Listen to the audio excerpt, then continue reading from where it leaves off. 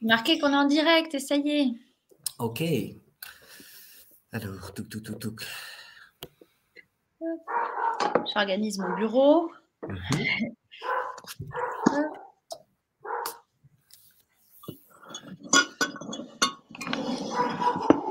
Il y a beaucoup de gens qui vont arriver en cours de live, mais qui n'étaient pas sûrs d'arriver tout de suite à 18h.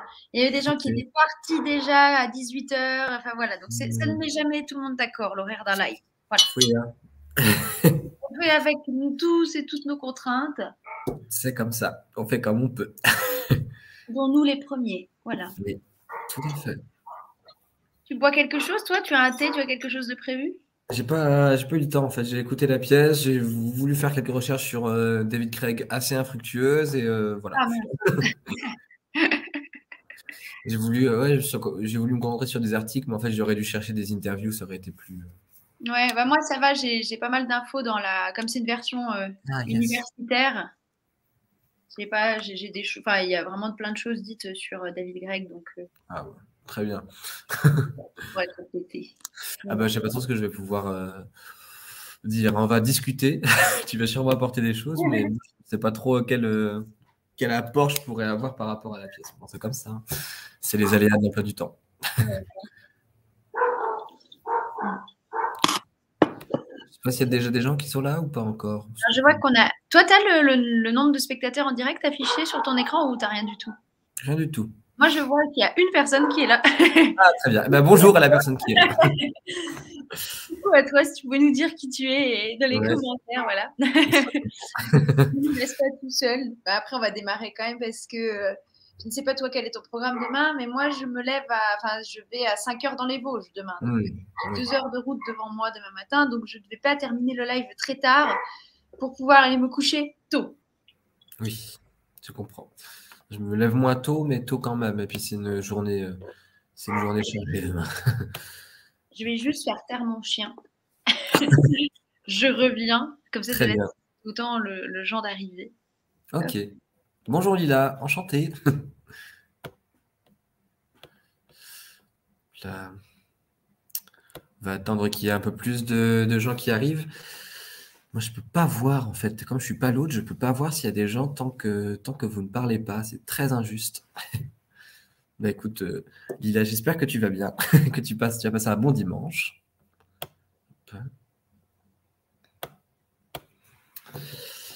Moi, je viens de d'écouter la pièce euh, radiophonique en fait à, à l'instant. J'ai pas du tout le temps de, le faire cette semaine plus tôt, donc, euh, donc je viens de le faire. Voilà, j'en j'en sors et je suis là. Voilà, bonsoir Lila. Et on a quatre personnes qui sont là.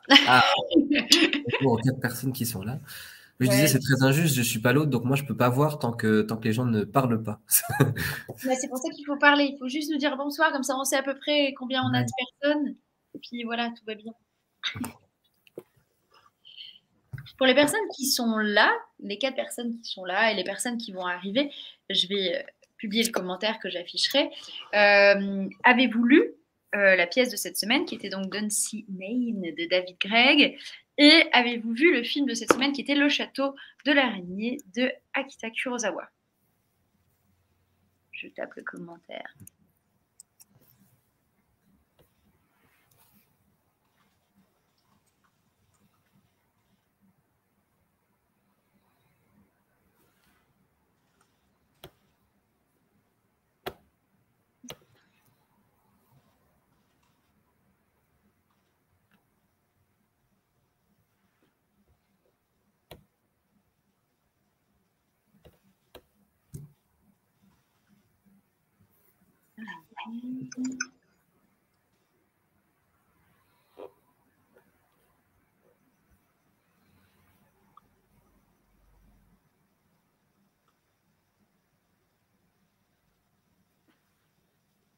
Akira Kurosawa.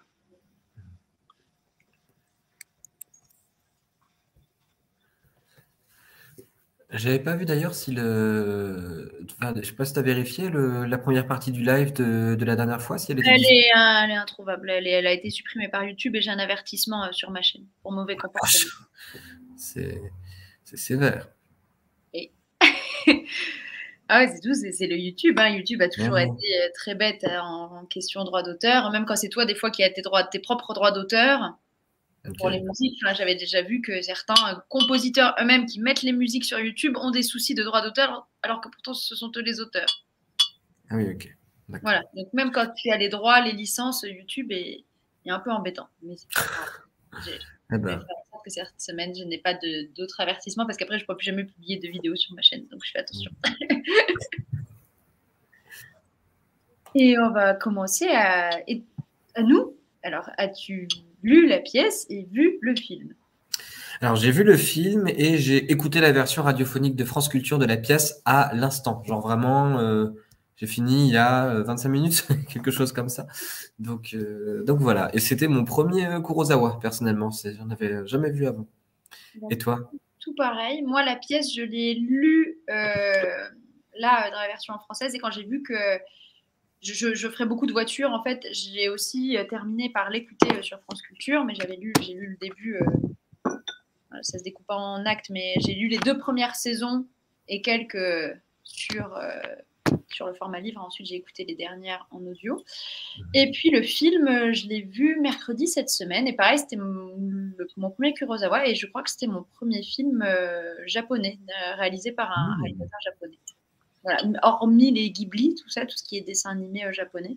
C'était la mhm. première fois que je voyais un film japonais. Eh bien, c'est pas les mêmes codes.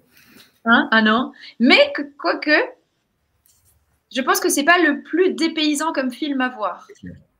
Voilà. Hmm. Eh bien, on va commencer par la pièce. Ça y est, il est 10, donc j'estime que là, maintenant les gens prennent le temps en marche. Très bien. Pour la pièce. Alors oui, je disais euh, avant que tout le monde arrive, euh, moi j'ai pas eu le temps en fait, enfin j'ai eu le temps d'écouter la pièce que là vraiment à l'instant et, euh, j'ai pas j'ai voulu faire quelques recherches sur David Craig, mais euh, c'était pas très, pas très fructueux. Je me suis, j'ai pas cherché aux bons, bons endroits, quoi. Donc, je vais pas avoir énormément de choses à dire autour de la pièce, quoi. Mais, euh, mais comme personne a une édition euh, universitaire, ce sera très utile. Donc, donc la pièce d'Unzinane, écrite par l'auteur écossais euh, David Craig qui euh, imagine la suite euh, à Macbeth en imaginant que Lady Macbeth, Groar, a survécu. Et là, le personnage principal devient le général anglais Seward, le comte de Northumberland. Et, on suit en fait l'histoire de, enfin, une histoire de l'Écosse. c'est l'histoire d'un pays qui essaie de se reconstruire après une guerre et après 15 ans de règne d'un tyran. Encore une fois, euh, le personnage de Gruart, de Lady Macbeth, euh, est pas le personnage le plus présent de la pièce, un peu comme dans Macbeth. Quoi. Il y a vraiment une bonne partie de la pièce dans laquelle elle est, elle est absente et pourtant elle fait partie des personnages qui sont les plus marquants. Alors, qu'en as-tu pensé, toi? Moi, j'ai beaucoup aimé cette pièce. Euh, j'ai, alors déjà, moi, j'ai la chance d'avoir vraiment une belle introduction à la fois à David Gregg euh, et à la pièce et une note des traducteurs, puisque j'ai une édition bilingue qui est donc très intéressante. Et euh, ensuite, que ce soit et en lecture et en adaptation audio, j'ai trouvé que c'était une, pièce euh, à l'audio, c'était très agréable à écouter. Des fois, le théâtre à écouter en audio, ça peut être très mal adapté et il nous manque le visuel. Et là, je trouve qu'ils ont réussi vraiment à créer toute une ambiance sonore qui pallie à, à ce manque de comédiens, comédiennes en visu. Euh, et, euh, et, à la lecture, je trouvais que c'était, il y avait plein de choses hyper malines. En fait, euh, David Gregg, alors je, je, pompe sur mes notes, hein, vous m'excuserez, j'ai pas appris par cœur. il a été élevé au Nigeria, donc il est bien écossais, mais en fait, il est élevé en Afrique. Et donc, quand il revient, lui, plus tard en Écosse, il n'a pas les codes de l'Écosse, il est complètement déraciné. Donc, c'est quelqu'un qui va toujours se sentir un peu perdu. Et là-dessus, ça me rappelle un peu euh, Shakespeare, puisque Shakespeare, il est dans une époque où on termine le Moyen Âge pour arriver sur la Renaissance. Donc on est sur deux personnes, en tout cas, qui sont piégées entre deux choses, deux univers, deux époques, deux euh, identités. Euh, de nationalité presque, on pourrait dire. Donc, dans ces pièces, il y a beaucoup de choses qui se retrouvent sur l'interrogation en langage, interrogation à l'anglais. Euh, il y a du gaélique qui est présent aussi dans cette pièce-là, et le gaélique écossais, euh, Dieu sait que c'est difficile. par exemple, je pense aux acteurs, actrices d'Outlander qui ont appris le gaélique pour jouer dans la série en gaélique, qui disent mais c'est la langue la plus difficile à apprendre, que ce soit par rapport au français ou quoi qu'ils ont dû apprendre aussi par la suite. Donc, euh, les questions de la langue, de l'identité, de l'identité écossaise, ça lui appartient. Je trouve qu'il s'en sert bien dans Dunsinane, mais on, en parlera plus tard. Euh, il est indépendantiste. Voilà. Son souhait à lui, c'est que l'Écosse un jour devienne indépendante. Et je trouve que ça se sent aussi dans ce texte, et je pense que ce n'est pas anodin qu'il ait choisi Dunsinane de. Enfin, qu'il ait choisi Macbeth comme réadaptation de pièces de Shakespeare.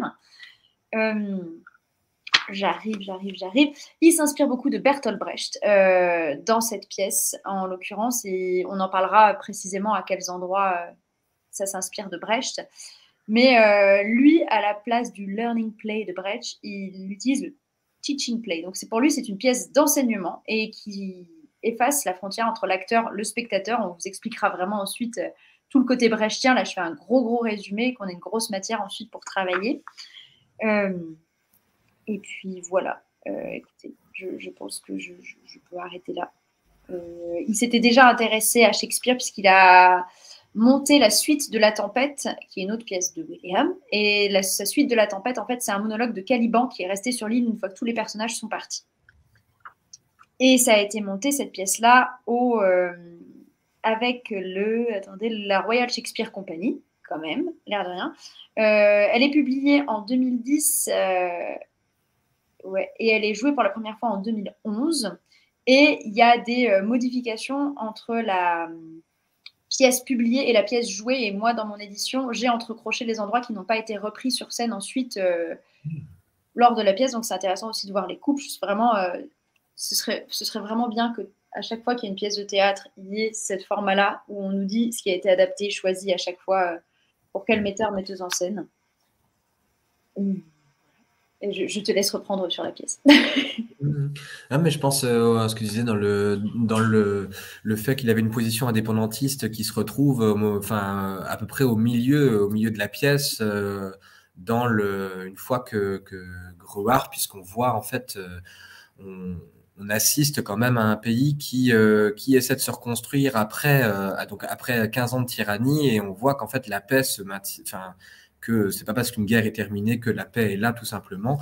Et euh, les conflits qui sont internes, les, changements de pouvoir, les, différentes accélérations de l'histoire, comment, euh, euh, quand on pense à la pièce de Shakespeare, la vitesse de la prise de pouvoir de Macbeth, puis 15 ans de règne, et puis ensuite des mois de tentatives de maintenir la paix, et puis hop, en 15 minutes, le pouvoir est renversé. Donc on voit en fait, dans un premier temps, le général Seward qui qui essaie tant bien que mal en fait de maintenir la paix entre l'Écosse et l'Angleterre et au sein de l'Écosse, mais sans lui-même avoir les codes de l'Écosse, sans avoir, euh, sans, sans, jamais parler un seul mot euh, écossais, et, euh, et, il va se, essayer de s'allier tant bien que mal à euh, Gruach, Lady Macbeth, qui donc dans la version de, de Craig a survécu. Et on, je pense, je pense à l'indépendantisme puisqu'il y a un dialogue assez important entre Seward et Malcolm, donc Malcolm le fils de Duncan, le roi que Macbeth a, assassiné, euh, où euh, Seward finit par demander y aura-t-il un jour la paix dans ce pays? Et Malcolm lui répond jamais comme vous l'entendez. Ça, je pense que finalement tout est dit quoi. Et le fait que euh, il peut faire tout ce qu'il veut euh, à la fin où il va tuer le fils de Lady Macbeth, enfin de Gruard, et qu'il la retrouve et qu'elle lui dit mais mon fils avait un fils et euh, dit vous pouvez le tuer, les Écossais trouveront un autre fils, vous pouvez me tuer, les Écossais trouveront une autre reine. le message est assez clair quoi. c'est assez euh, assez fort. Et alors c'est assez drôle parce que moi spontanément j'aurais jamais pensé que c'était une pièce d'apprentissage en la lisant.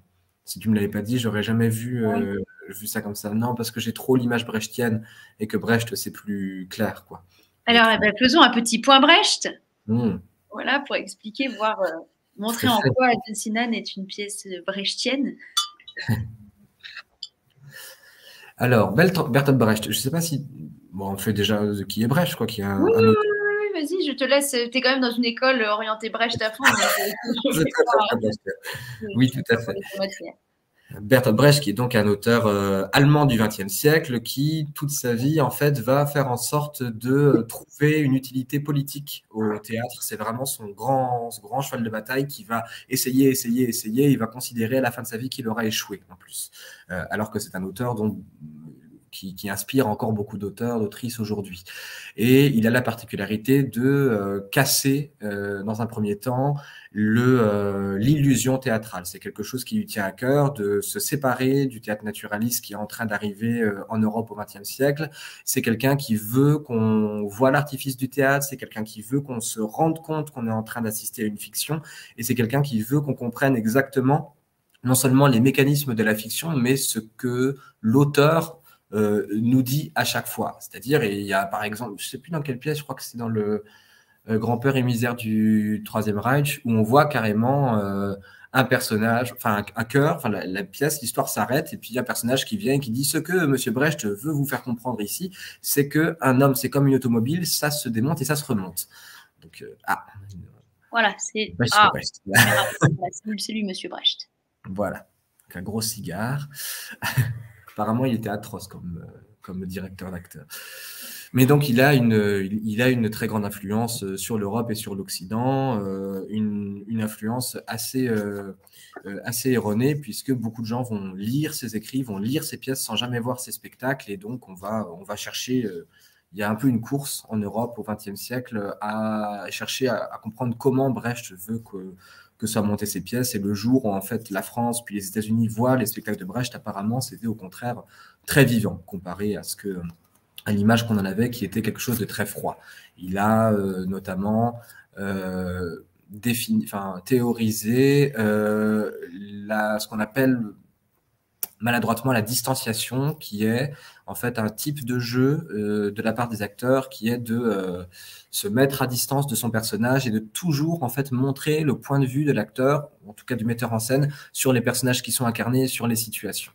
Donc il y a l'idée de ne pas simplement raconter une histoire, mais de toujours avoir euh, apporté un point de vue. L'objectif de Brecht était que la salle, en sortant du spectacle, soit divisée ça, ça en dit long quand même. C'est-à-dire que ça affermisse les, euh, que ça amène à réfléchir, que ça amène à se poser des questions et à prendre des positions assez, euh, assez fermes. Et donc, il a créé voilà, les pièces d'apprentissage euh, qui étaient des pièces destinées avant tout à des publics ouvriers et donc destinées à apporter, c'était pas tant apporter la culture en fait auprès des classes populaires, même si ça en faisait partie, mais surtout apporter une, euh, une, un outil euh, politique puissant dans les classes ouvrières, puisque euh, Brecht était contre, contre le système capitaliste qui commençait déjà bien à s'installer et contre, contre l'Allemagne nazie, etc. Voilà, donc un personnage qui, qu'on l'aime ou qu'on ne l'aime pas, a été très important. Donc Wendy, elle dit qu'elle ne connaissait pas du tout Brecht et Lisa, elle dit ah. qu'elle aime beaucoup la vie de Galilée. Oui, mais la vie de Galilée, c'est la pièce la, plus, la moins brechtaine de Brecht. Mais moi aussi, j'aime la vie de Galilée. Alors, en quoi moi je trouve que c'est effectivement très brechtien, on a euh, dans la, le tout début de la pièce le sergent qui dit Vous, quelqu'un qui répond Sergent, sergent, transformez-vous en arbre. À vos ordres, sergent. Vous, vous, vous et vous, transformez-vous en sous-bois. À vos ordres, sergent. Allez, vous êtes censé former une forêt. Vous, imitez le chant d'un oiseau. Sergent, quoi? Est-ce que ça va comme ça, sergent? Qu'est-ce que c'est que ça? Allez, réfléchissez. Que peut-il faire pour faire une forêt? Sergent, qu'est-ce qu'on y trouve? Des arbres, des arbres, certes, des arbres, et hormis les arbres. Je ne sais pas. Fermez les yeux. Imaginez une forêt. Vous vous y promenez. Vous regardez autour de vous. Qu'est-ce que vous voyez? Le vent. Quoi d'autre? Qu'est-ce que vous voyez? Regardez bien. Qu'est-ce que vous voyez maintenant? Des blaireaux. Des blaireaux, certes, et quoi d'autre? Rien, sergent. Parfaitement. Rien. Bien. Rien. À quoi Rien ressemble-t-il? À rien. Non, rien ressemble à quelque chose. À quoi? À l'obscurité. C'est ça, mon petit gars. La forêt est faite d'arbres et entre les arbres, l'obscurité. N'est pas ce qui constitue la forêt qui trompe l'œil, mais le rien qui est entre. Vous tous, agenouillez-vous et plongez vos mains dans l'eau marécageuse, barbouillez-vous le visage de bourbe noire. On va faire de vous tous une forêt, quoi qu'il arrive. Allez. Et un tout petit peu plus loin, on a la didascalie qui nous dit une forêt, des champs d'oiseaux, des arbres bercés par la brise, des ombres. Seward et son fils marchent à travers la forêt. On assiste littéralement à la troupe d'acteurs qui est en train de chercher comment, euh, comment représenter une forêt quand même. C'est assez fort au sein de l'histoire. est-ce que, c'est considéré, est-ce que Brecht est considéré comme un sous-théâtre par certains, vu que tu parles de classe ouvrière? Je pense que personne n'ose dire ça. non, non, c'est plutôt. Euh, non, non, c'est, il, est, il est considéré comme un, très, très grand, grand, grand auteur de théâtre et avec une influence énorme sur, euh, sur, la, sur le théâtre euh, occidental, avant tout européen. Et beaucoup, beaucoup, en fait, d'auteurs et d'autrices se revendiquent de l'héritage de Brecht. Donc, non. Il fait partie de ces gens qui s'adressaient avant tout aux classes ouvrières, mais qui a été repris par les, classes les plus aisées. C'est ça, c'est qu'à ce moment-là, c'était pas forcément vu non plus comme du sous-théâtre, c'était vu comme une révolution, une, une avant-garde. Et en théâtre, les avant-gardes sont jamais vus comme des sous quelque chose, en fait. À part le théâtre de boulevard, vraiment, qui va vraiment être considéré comme du sous-théâtre, euh, unanimement parlant. Euh, sinon, après, le théâtre, en règle générale, même les genres euh, étranges ou qui vont contre le pouvoir sont pas considérés comme des sous-théâtres, des sous-genres. Excusez-moi, j'ai un chien qui n'est pas content. Voilà. Toujours incroyable la vision des metteurs en scène de ces pièces, ouvrir l'esprit sur Marx. Oui, mais la dialectique marxiste, c'est sa grand... ce sont ses grands objectifs, tout à fait. Et donc, euh, moi, je vois que cette scène, elle vous fait rire. Ah, ah oui, j'imagine bien les possibilités de faire cette scène. Je vois, je vois. Moi, je vraiment, c'est quelque chose que j'adorerais faire en, atelier, cette scène-là, et de, laisser les, personnes en atelier. Ben voilà, vous avez ça comme texte, et, bah, et en fait, toi, tu dois trouver comment tu fais un art, tu dois trouver comment tu fais les chants d'oiseaux. C'est vraiment l'artisanat. Ça nous montre que le théâtre, c'est un monde d'artisanat et que c'est le faire comme si, et c'est le il était une fois qui prend la place, en fait. C'est comme quand on est enfant dans la cour et on dit, euh, bah, toi là, t'es un soldat, et ben, toi là, en fait, t'es mort, mais toi, en fait, t'es une fée ressuscitée, et là, tu peux être un dragon. Et tiens, là, là on a besoin d'un caillou, est-ce que tu peux faire le caillou derrière lequel on se cache? Et en fait, c'est tout à fait ça, Brecht. C'est vraiment dans cette euh, truc-là de on dit ce qu'on est, c'est la fonction un peu performative du langage. Et là, on a toute cette première scène d'installation où on nous installe l'Écosse euh, avec tous ces personnages-là, euh, tous ces acteurs qui vont jouer le décor, en fait, qui vont être le décor. Et euh, on retrouve ce qu'on avait dit la dernière fois sur Shakespeare, sur le fait que bah, dans le théâtre élisabétain, on dit donc ça existe, et là, on dit les comédiens sont une forêt, ils sont une forêt, et c'est tout, et le public maintenant sait qu'il est en face d'une forêt.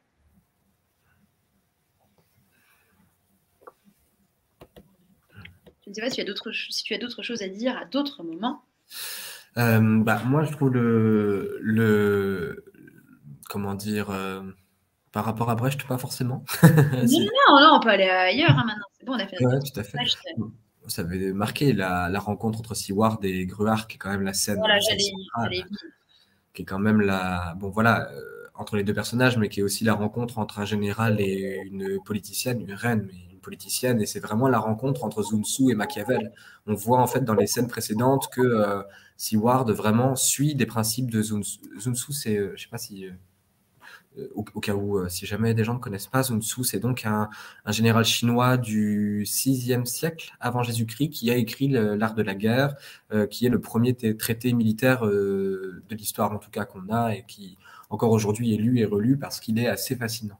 Et donc, on voit Seward suivre des principes de Sun Tzu euh, à la lettre, c'est-à-dire euh, ne pas, enfin, bien traiter les prisonniers, ne pas faire plus de mal que nécessaire, euh, faire avoir un amour pour les hommes à son service, mais pour l'humanité en général. Et en face, on a on a Gruard qui suit les principes de Machiavel, puisque peu de temps avant la scène de la rencontre entre Seward et Gruard, on voit euh, Gruard qui parle avec un anglais, et je crois que c'est Egan, mais je ne suis pas sûr. Euh, mais en tout cas, l'anglais lui demande s'il si, est, est vrai qu'elle dévore des nourrissons.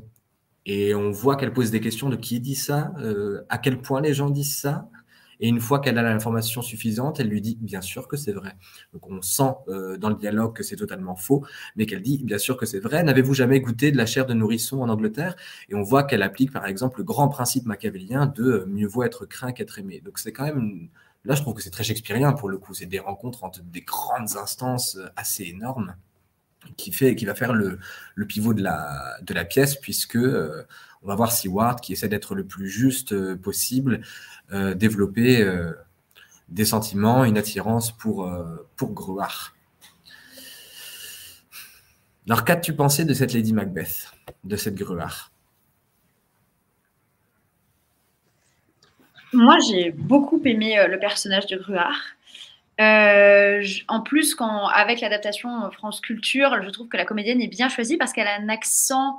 Tout le monde est français avec un accent français, sauf elle qui a un accent anglais et qui, on l'entend parfois parler en gaélique, mais elle ne surjoue pas l'accent écossais. En fait, juste le fait qu'elle ait un accent anglais alors que tous les autres ont un accent français, je trouve que ça transcrit bien le fait que, ben, on suppose que la comédienne de base euh, est vraiment écossaise et les autres sont britanniques, donc ça retranscrit bien euh, ça, en fait.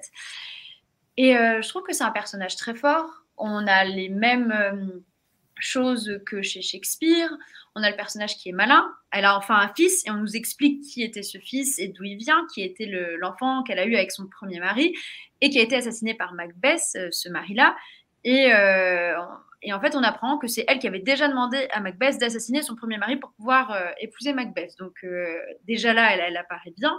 Ce que faisait pas Gordon Battlemy la semaine dernière euh, sur le fait qu'on ne connaissait pas encore quelle était l'énigme de cet enfant. Ce qui se passait là, David Grigg, il s'inspire vraiment de, des chroniques d'Écosse pour, ben, parce que Lady Macbeth et Macbeth ont vraiment existé, hein, voilà, quand même, dans cette Écosse-là. Donc, il s'inspire de leur vie, de leur histoire, il a ce vrai fils. Elle porte son vrai nom à elle, qui est Gruach et pas Lady Macbeth, n'est pas un prénom, mais euh, jusque-là, on ne savait pas, quoi. Et elle a. Euh, elle est rusée, elle est déterminée. Euh, je la trouve extrêmement touchante aussi par moment, le moment où Seward revient après avoir fait le tour des chefs des clans et qui lui dit On m'a volé ma malle, on m'a volé mes affaires, on m'a volé la timbale de ma famille, je n'ai plus mes, mes, femmes, donc ces servantes, sa cour. On, m'a mis dans des. On m'a retiré de mes appartements. En fait, je veux ça. Et je trouve que c'est extrêmement touchant et bouleversant. Euh, toute cette scène-là, toute cette séquence-là de. En fait, je, suis reine, l'air de tout. Et au-delà d'être reine, c'est moi. Vous êtes chez moi. Donc, est-ce que vous pouvez au moins me respecter? D'accord, je, je, suis votre ennemi, mais respectez-moi. Et moi, j'ai trouvé que c'était extrêmement touchant ce moment-là. J'ai beaucoup aimé sa relation avec Siwar. Euh, je trouve qu'elle a quelque chose de très. Euh, au lieu d'être juste cette figure très presque mystique chez Shakespeare de, femme forte, euh, effrayante, main terrible du destin, là, elle a quelque chose en plus, en fait. Et elle dit, ben oui, j'ai un fils. Et elle s'enfuit. Et, à la fin, elle dit, mais tu peux me tuer, mais tu peux tout faire. Tu peux tuer l'enfant de mon fils aussi, mais on est là. Et c'est comme ça. Et elle a quelque chose qui l'anime, qui est plus grand qu'elle, et c'est l'Écosse. Voilà, je trouve, et c'est, enfin, je trouve que le personnage est très très bien construit par, pour David Gray, qui lui a donné des vrais enjeux, en fait, encore plus grands que chez Shakespeare. Ouais, je suis vraiment d'accord. Et son aspect euh, implacable se fait encore, euh, encore plus sentir dans cette pièce qui est euh, plus longue, où on la voit plus en détail, où on voit en plus qu'elle continue à être. une fois qu'elle a perdu le nom de Lady Macbeth, qu'elle n'est plus appelée que Gruach, elle est presque encore plus elle-même que dans la pièce de Shakespeare, quoi, quelque part. Et euh, on la voit donc euh, euh, manipuler Seward, on la voit dire mais à ce moment-là épouse-moi et on peut et on peut trouver un accord et, et comment Seward finalement ne respecte pas la parole qu'il lui avait donnée en disant non. en disant, proposant publiquement une alliance entre Gruach et Malcolm, donc le fils du roi que Macbeth avait assassiné et comment euh, elle retourne la situation euh, par la force parce qu'elle a réussi, on ne, sait, on ne sait pas comment, et ça je trouve ça bien qu'on ne sache pas comment, euh, à faire infiltrer ses gardes dans, le, dans la salle, à tuer tous les sentinelles et, elle s'en va. Et donc en fait elle est toujours reine d'Écosse et, et, les Anglais n'ont toujours pas l'Écosse. Et je trouve ça bien qu'on voit pas comment les gardes se sont infiltrés parce que ça montre que l'Écosse assez comment dire, assez secret, assez terre, à son âme que l'Angleterre ne peut pas, ne peut pas toucher euh, malgré tous ses efforts. Quoi. Je trouve que c'est très fort. Elle est L'Écosse est intouchable au même titre que Gruach est intouchable. C'est assez, euh, assez puissant. Moi, je trouve vraiment que c'est magnifique euh, tout ce qu'il dit de son pays, tout ce qu'il dit de l'Écosse. à beaucoup de moments dans la pièce, que ce soit le début. Nous étions sur le rivage du comté des Sexes, un enchevêtrement de galets, certains d'entre nous nouveaux et impatients de livrer bataille, d'autres plus incertains, mais tous autant que nous étions sachant et ne sachant pas à la fois ce qui nous attendait, l'Écosse. L'Écosse, nous allions installer un roi sur le trône. Déjà là, l'Écosse, il est mis en, en aparté en fait sur le texte et on suppose qu'il faut y faire un sort en tant que comédien quand on dit ce mot. Et déjà là, quand on place l'Écosse, on imagine la brume, on entend plein de choses derrière ce mot. Ensuite, on installe la forêt écossaise.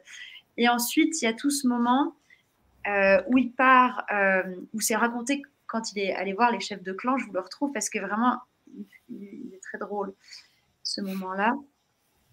Euh, après, je vous lirai aussi d'autres moments de, de Ruark enfin, vraiment, je trouve que cette pièce, elle est drôle. Elle est très, très drôle. Elle est extrêmement touchante. Elle est bien faite. Et on rit vraiment à beaucoup de moments.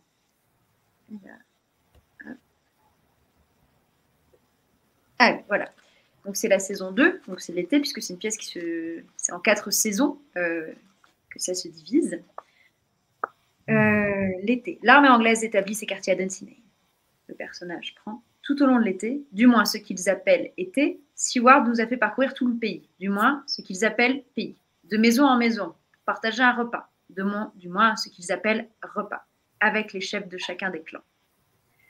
Et étrangement, le chef de chacun des clans, on a envie de dire du moins ce qu'ils appellent un chef euh, de clan. Et en fait, là, euh, David Gregg, il met pas ça, et ça permet en fait de montrer que l'Écosse, encore aujourd'hui, les clans, c'est encore très très très important et que leur politique, elle est faite en termes de clans en Écosse, elle n'est pas faite en termes de roi et que c'est vraiment un respect de clans, il y a une hiérarchie des clans qui se joue et que l'Angleterre, elle peut faire tout ce qu'elle veut.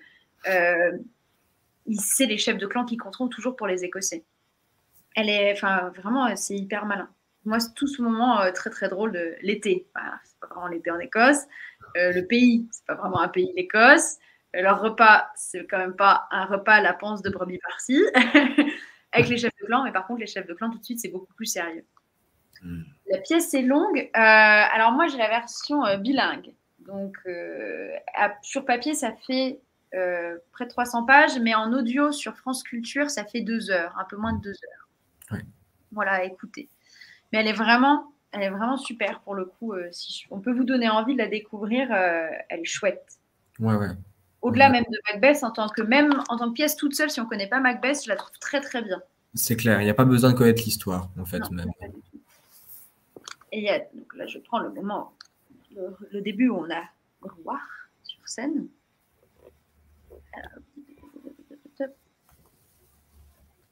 Déjà, elle mord. La première chose qu'elle fait sur scène, c'est qu'elle mord. Euh, elle mord l'enfant soldat qui est là. Et donc là, elle apparaît comme une bête aussi qui se défend. Et en fait, cette première scène, elle va montrer tout ce qu'elle va faire tout au long de la pièce. C'est une femme qui va essayer de se défendre quoi qu'il arrive. Euh, après, donc là, la première rencontre entre Seward et Lady Macbeth, c'est Femme, ton château est entre nos mains. Comprends-tu? Je suis Seward. Je suis l'Angleterre. Parles-tu anglais? Oui. Comment t'appelles-tu? Groar. Groar. Groar, quel travail fais-tu ici à Dunsinane? Travail Quel est ton rang ici? Mon rang ici, c'est reine. Fin de la scène. Hmm. Comme ça, ça pose. Et ensuite s'ensuit une scène que je trouve truculente entre Seward et Malcolm. Je, ne résiste pas à l'envie de vous la dire. Seward va voir donc Malcolm qui est installé sur son petit trône là et lui dit Vous m'aviez dit qu'elle était morte. Vraiment? Vous m'aviez dit qu'elle était devenue folle et en était morte. C'est ce qui se passe donc vraiment chez Shakespeare. Malcolm répond Steward, vous m'aviez dit que le tyran avait perdu le soutien des chefs, qu'il n'avait pas de fils, que sa reine était morte dans un accès de folie, que vous ne rencontreriez donc aucune résistance, qu'au contraire, nous étions susceptibles de voir votre autorité rapidement reconnue par la majorité, avec la possibilité de mettre en place un ordre nouveau, un ordre pacifique. C'est ce que vous aviez dit. Oui. Eh bien, elle n'est pas morte, à ce qu'il semble. Pas même malade. Non, vous m'avez menti. Steward, il y a une petite chose qu'il faut que je vous dise si ça ne vous ennuie pas, et je ne suis pas en train d'essayer d'éluder votre remarque dénuée de nuances, mais il y a un point essentiel que je dois clarifier avant que nous allions plus loin. En Écosse, il est tout à fait incapable de me traiter de menteur. Si, ici dans la grande salle par exemple, euh, un homme devait me traiter de menteur, cela exigerait essentiellement une réponse violente, un tel propos étant, comme il se devrait, une question d'honneur. Et donc, habituellement, nous gérons ce genre de choses en Écosse, non seulement en faisant attention à ne pas dire de mensonges, mais aussi en faisant très très très attention à la façon dont nous entendons et comprenons les mots. Aussi, par exemple, si quelqu'un en Écosse dit « il semble qu'une personne soit morte », nous avons tendance à entendre ce mot « semble ». Semble, et naturellement, ce mot fait la différence. Oui, enfin, c'est vraiment. Euh, Cette scène-là est incroyable. voilà, c'est vraiment ce, cette tirade-là, elle est chouette. Oui, elle a, elle a énormément de classe, Roua, encore plus que dans Macbeth dans cette pièce. je trouve. Vraiment, euh, ces scènes avec Stuart, elles sont très très belles. À chaque fois, elles sont, elles sont percutantes, que ce soit au début à leur rencontre, leur milieu, euh, leur liaison à la fin aussi, quand ils se retrouvent après. Enfin, c'est très très fort. Mhm.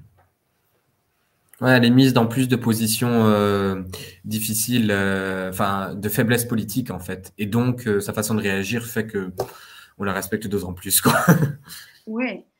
Et au-delà maintenant du personnage de Ruark et tout, il y a aussi vraiment beaucoup de Shakespeare là-dedans parce qu'on a quand même des pièces, enfin des scènes extrêmement drôles.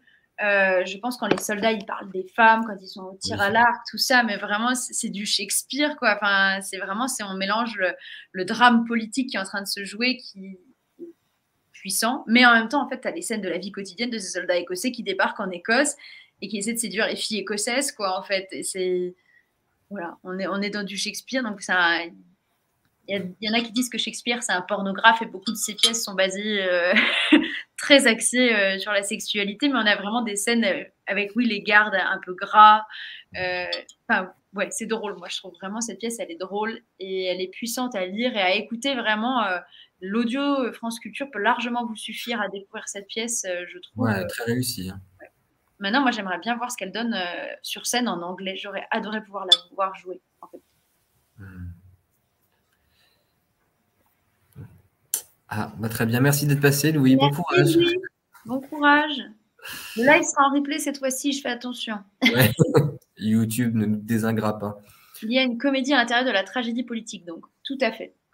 Ouais, ça se retrouve dans une scène euh, de façon encore plus forte plus tard, parce que donc c'est après le revirement de situation et de la reprise de pouvoir de Gruard, où euh, juste des, soldats reviennent euh, voir leur leur, euh, leur caporal, je crois, et qui disent euh, l'archer est mort, comment bah, il, y a une vache qui lui a marché dessus pendant son sommeil. Il dit oh là là, douloureux. Ouais, c'est dû être douloureux. Bah mince alors. au milieu en fait du, du, du, chaos, quoi, il y a quelque chose d'un retour euh, rapide au concret et de oui, la vie c'est ça aussi. En fait, c'est assez, assez fort. Et je trouve que ça se retrouve beaucoup en général dans l'écriture anglaise. Et je, enfin, en tout cas, c'est comme ça que je comprends ce que tu disais. Quand on parlait avant le live, tu disais que ça te faisait penser à Denis Kelly. Mm. Euh, un auteur euh, contemporain anglais euh, très, très, très, très, très en vogue en ce moment, depuis, depuis quoi 5-6 ans notamment, bon, depuis, enfin depuis même plus, mais depuis 5-6 ans en particulier. Quoi. Et, effectivement, il y a ce, ce, rapport à la dynamique de la langue, au rythme qui, qui est très fort dans, dans, dans la pièce qu'on retrouve beaucoup chez l'auteur Dennis Kelly. Et, et ce, euh, cette scène qui grandit, qui grandit, qui grandit autour d'une tragédie et en fait qui est rythmée par, euh, euh, par des interventions comme ça très concrètes et très basses en plein milieu. en tout cas, moi, c'est ça que, que j'ai reconnu de Denis Kelly dans, le, dans la pièce. Mm. Tout ce que j'aime, mais je suis contente de vous donner envie de lire cette pièce. voilà, de l'écouter, elle vaut le coup. Et en fait, il y a, euh, on sent chez Shakespeare que quand il choisit l'Écosse, il choisit une terre pleine de superstitions. Et en Angleterre, l'Écosse, c'est euh, mystérieux, même encore aujourd'hui. L'Écosse, elle a vraiment euh, ce manteau de mystère, cette brume autour d'elle. C'est pas étrangement très loin de nous, mais pourtant, c'est l'un des pays qui a le plus de mystère, l'Écosse.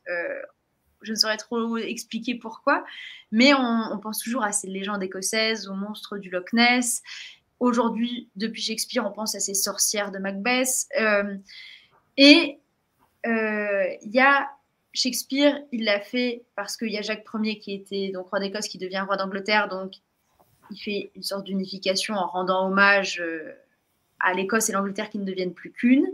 Là, David Gregg, lui, au contraire, on sent qu'il a ce côté très patriotique et il a, il a qu'une envie, c'est que l'Écosse prenne son indépendance. Euh, donc c'est drôle de voir qu'ils choisissent cette thématique-là pour deux raisons assez différentes au final. Et euh, par rapport à cette lande écossaise, à ces légendes écossaises, là je trouve que Greg il en joue pas mal dans cette scène avec l'enfant soldat. Donc euh, quand il demande à, à Groark, est-il vrai que vous mangez les bébés? Les bébés? Ils disent que vous mangez les bébés. Ils disent que les Écossais mangent les bébés? Ah non, enfin je veux dire, que veux-tu dire? Je me demandais si c'est vrai que vous mangez les bébés. Moi, oui. Ils disent ça. Ils disent que votre mari avait coutume de, coutume de quoi? Ils ont dit qu'il avait coutume de tuer les gens et qu'une fois tué, il. euh, oui, ils soumettaient leurs femmes et, que quand il y avait un bébé, euh, quoi? Ils disent que vous, qu'ils vous le donnaient et qu'alors vous le mangiez. Ils disent ça, oui. C'est ce qu'ils disent. Oui, c'est vrai. Mon Dieu N'as-tu jamais mangé de la chair de nourrisson? Ah, moi, non. Ne mangez-vous pas de la chair de nourrisson en Angleterre? Ah, bah non, pas dans le Kent en tout cas. Vous devriez essayer. Je ne pense pas. C'est un délice très tendre. Et après, elle lui fait croire qu'elle lui donne une potion qui va le transformer en oiseau et l'enfant y croit en fait. Et vraiment, elle en joue beaucoup de ça, de ces trucs. de, D'accord, alors pour toi, je suis une vieille sorcière. D'accord, et ben je vais rentrer dans ton jeu, ça va être un peu drôle. La littérature anglaise est souvent une balance entre ces deux thématiques. On peut rire au milieu du chaos, un plaisir pur. Est-ce que tu as des exemples précis de, de romans, de pièces euh, qui oscillent entre tout ça? Bon, après, avec Shakespeare, ils sont très forts sur le drame romantique. Euh, la Lande dit aussi pour beaucoup, c'est un endroit envoûtant, même si mon cœur est plus irlandais. Ah, moi, je préfère l'Écosse. Pour avoir été sur les deux, c'est c'est plus l'école qui me parle. Je n'ai pas encore vu l'Écosse personnellement. Non, mais cette scène est parfaite, totalement mon humour. ah. Mais c'est très drôle, vraiment, elle est très drôle. C'est bien le personnage. Je pense que c'est un plaisir à l'incarner euh, d'être. J'aimerais beaucoup voir un triptyque avec le Gruard de Bottomley, le Macbeth et cette pièce-là euh, à jouer. Enfin, voir les acteurs qui incarnent les mêmes personnages, je pense que ça doit être vraiment très, très important à jouer et à voir encore plus, quoi. Ah oui, j'aimerais voir comment un metteur, metteuse en scène choisirait l'esthétique pour englober tout ça, quoi. Ça, ce serait, ce serait puissant. Est-ce que tu as d'autres choses à dire sur cette pièce, d'autres scènes qui te reviennent en tête? Hmm. Après, on n'a pas parlé aussi du revirement vi- violent et cruel de Seward. Après, euh, après le départ de, de Gruard, à nouveau, je trouve que c'est très shakespearien quand même, hein, ces personnages qui, euh, qui ont des, des valeurs énormes et qui s'y tiennent pendant, enfin, pendant toute leur vie. Il y a un revirement de situation et les personnages de, pff, virent de l'autre côté complètement, quoi. Qu'il y a un truc qui, euh, qui, qui vrille quelque part et, euh, et hop, ils deviennent des, deviennent des monstres, quoi. Et Seward qui cherche le, le fils de, de Gruard et qui décide de tuer euh, de, tous les jeunes garçons écossais euh, au cas où, comme pour, euh, pour résumer la situation. C'est quand même un peu ça. Il les brûle vifs si jamais ils ne donnent pas d'informations euh, satisfaisantes sur où se trouve la reine actuellement. Donc, oui. En tout cas, c'est quelque chose qui m'avait beaucoup marqué. J'avais lu aussi dans les petits articles que j'avais pu trouver sur Dunsinane, euh, un article français, euh, parce qu'il a été monté, euh, la pièce a été montée en 2020, je crois, en France, pour la première fois. Et euh, c'est, oui, c'est 2020. Et euh, le, l'article faisait référence aux situations politiques de euh, l'Irak et de l'Afghanistan, sur euh, justement la reconstruction de, d'un pays euh, après la chute d'un, euh, d'un dirigeant euh, qui est arrivé par la force, quoi. La chute de, bah, là, dans l'exemple là d'un tyran, quoi. Donc euh, je trouvais ça, je trouve ça intéressant. Là, dans la, enfin, je peux le rapprocher de Brecht aussi dans ce, dans ce, de cette façon-là, personnellement. Mais je pense que cette pièce, elle a dû faire plaisir aux Écossais. J'imagine. Il me semble que je crois que c'est ça, je ne veux pas dire de bêtises, mais c'est ça, elle a été montée lors du Festival d'Édimbourg. Euh, le Festival d'Édimbourg, ça a tous les ans lieu au mois d'août à Édimbourg, et c'est l'équivalent de, leur- de notre Festival d'Avignon, mais version internationale. quoi. Mhm. C'est une, grande institution, le Festival d'Édimbourg. Donc euh, j'imagine qu'avoir ça en tête d'affiche, euh, ouais, t'es content quand t'es écossais et que t'as tout le monde qui vient et te fait, eh ouais, ça c'est nous. Ouais. Mm. Euh, moi, là, comme ça, il n'y a plus d'autres euh, d'autres scènes de passage qui, qui me reviennent euh, sur euh, Dunsinane. Non, bah moi non plus. On va pouvoir passer euh, au film alors. On va lancer là. attendez, je suis une vieille personne. Le trailer. Le trailer du film, donc Le château de l'araignée de Akira, je vais à chaque fois confondre. Ne vous inquiétez pas, ça m'arrive parfois avec certains noms. Akira Kurosawa. On va regarder le trailer et après on en parle. Et je suis très contente, Wendy, que tu sois là. Comme ça, si jamais je dis des bêtises, mais tu pourras euh, me corriger.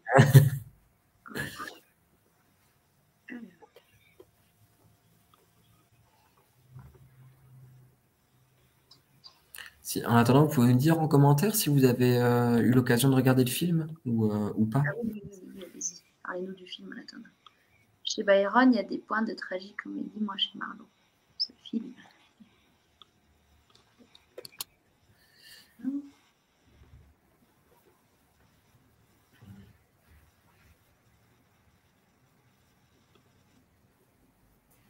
Tout, tout, tout, tout, j'ai pas lancé. Comment? Moi, le son se lançait tout de suite chez moi sur la vidéo, donc j'ai dit non, non, non. Je coupe le son chez moi.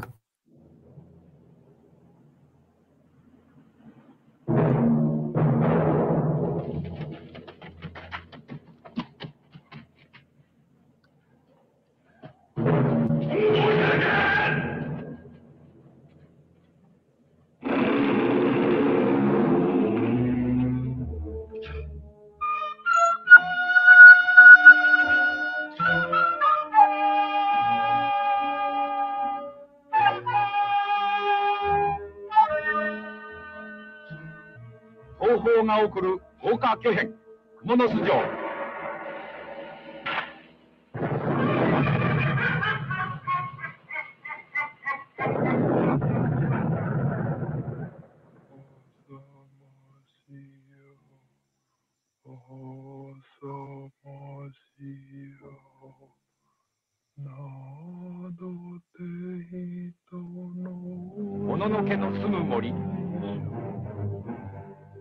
に囲まれ猛襲の霧渦を巻く城。蜘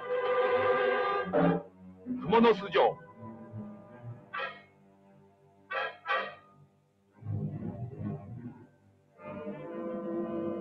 権力の座。その権力の座を争う者。そしてそれを血であがなった者の末路は血で血を洗う戦国絵巻。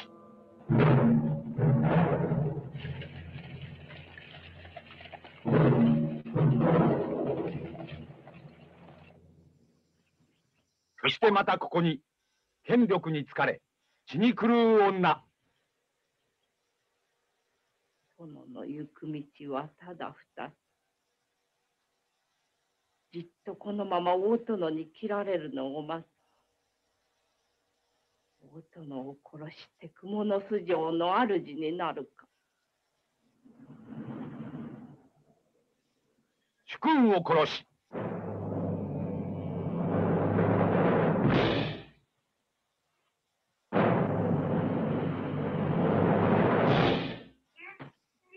腹心を殺し。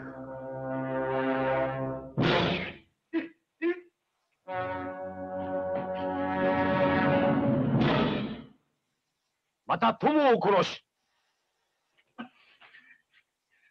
また手を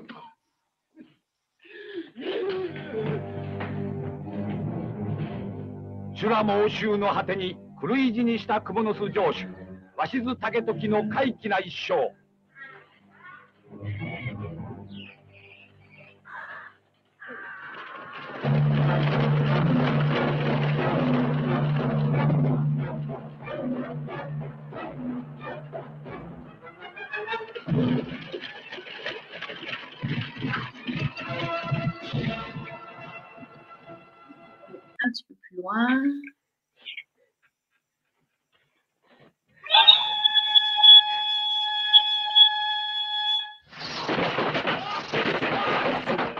Et voilà pour la bande-annonce. Nous sommes encore en direct, il y a encore des gens, c'est bien.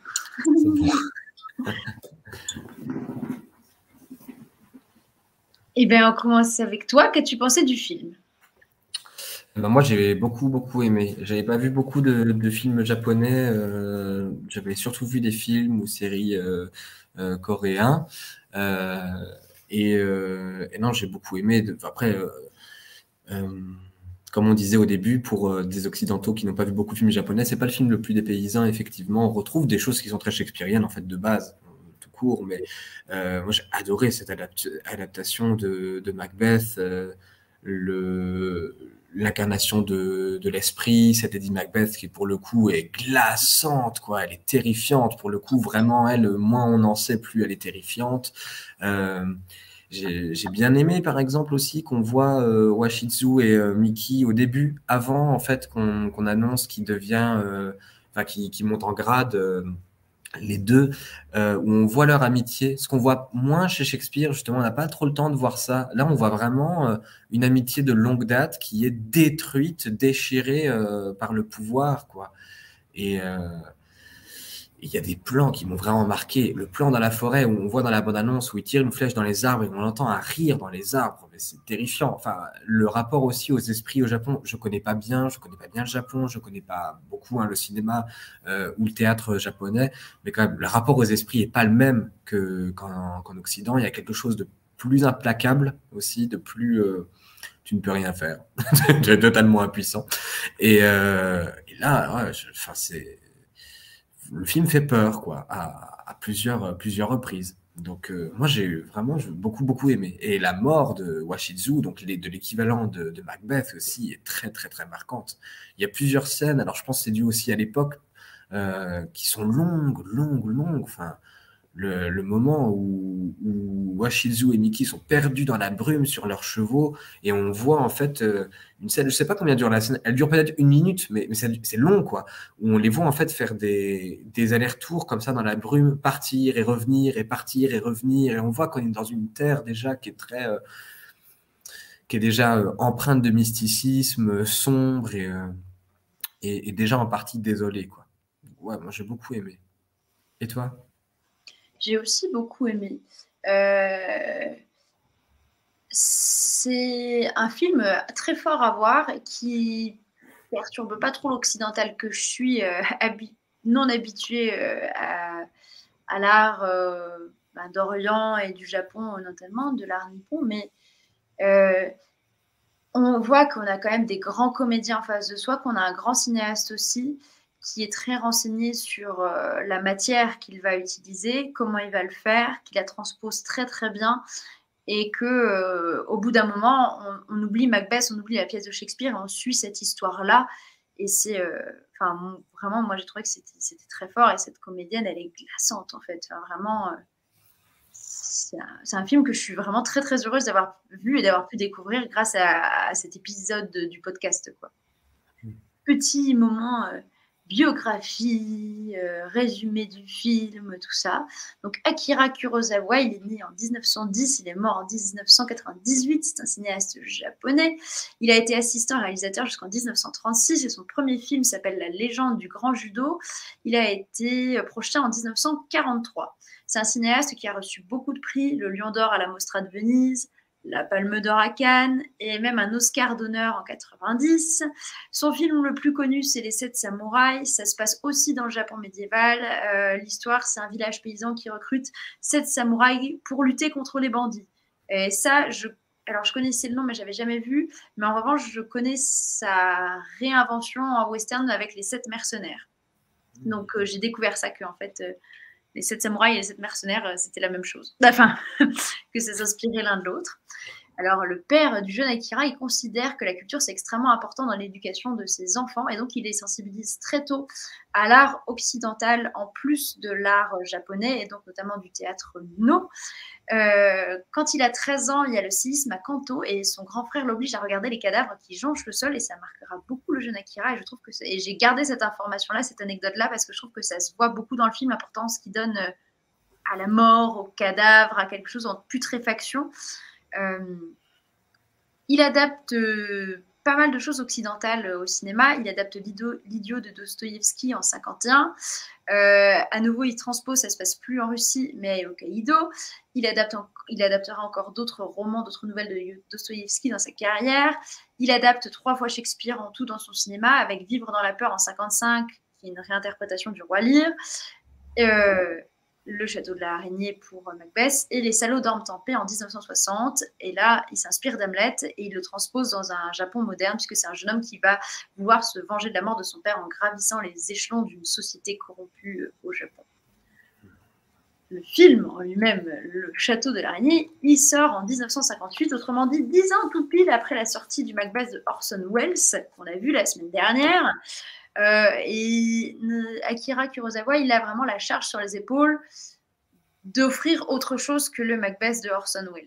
Euh, parce que vraiment, à ce moment-là, le Macbeth de Orson Welles, ça fait figure d'autorité et personne n'ose vraiment se confronter à une nouvelle adaptation euh, de Macbeth de Shakespeare, puisqu'il y a ce, truc d'Orson Welles. Donc lui, il prend le parti pris très intelligent de le transposer, de le transporter à, à l'époque Sengoku en Asie. Euh, on n'est plus dans l'Écosse médiévale et donc il réinterprète euh, l'histoire, la matière de Macbeth, mais par rapport à sa vie à lui, à son pays à lui. Donc là, j'ai trouvé une citation du réalisateur. Pourquoi avoir choisi le Japon du XVIe siècle comme cadre de cette adaptation de Macbeth?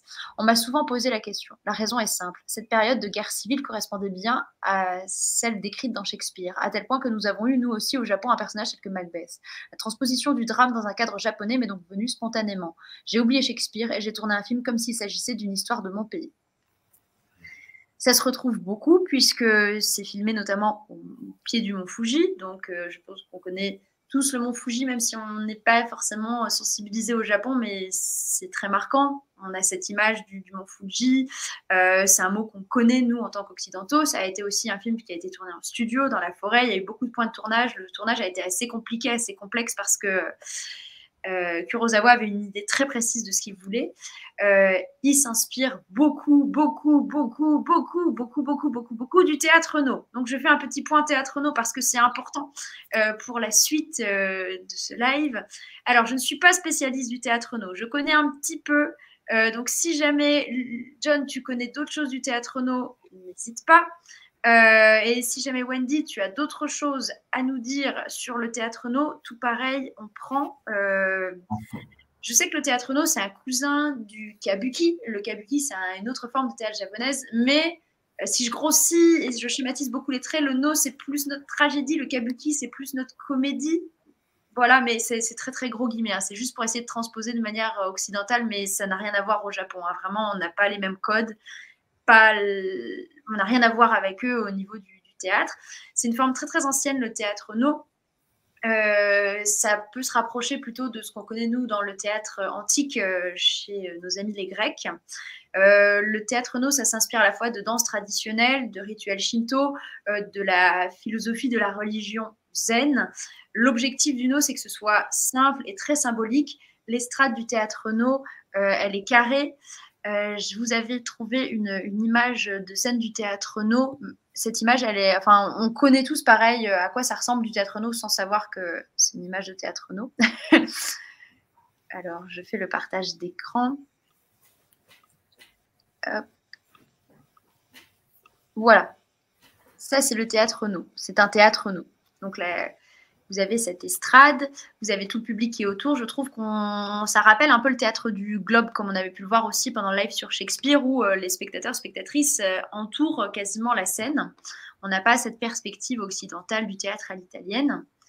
Euh, on a peu de personnes qui jouent sur scène. On va avoir des musiciens, on va avoir un chœur et en général, on a deux acteurs.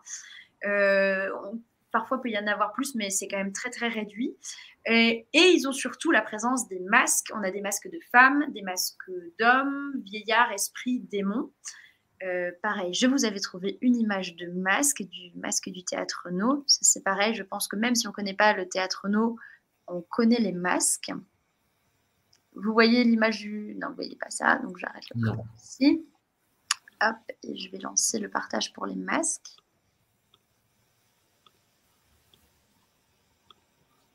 Voilà. donc, euh, c'est cinq actes, une pièce de théâtre no. Euh, premier acte, ça nous parle plutôt de l'histoire des dieux. Ensuite, une sorte de guerrier. Les femmes, on a un interlude. Et ensuite, on a quelque chose qui s'intéresse aux démons. C'est très très long, une pièce de théâtre no. C'est souvent sur une journée, sur deux jours.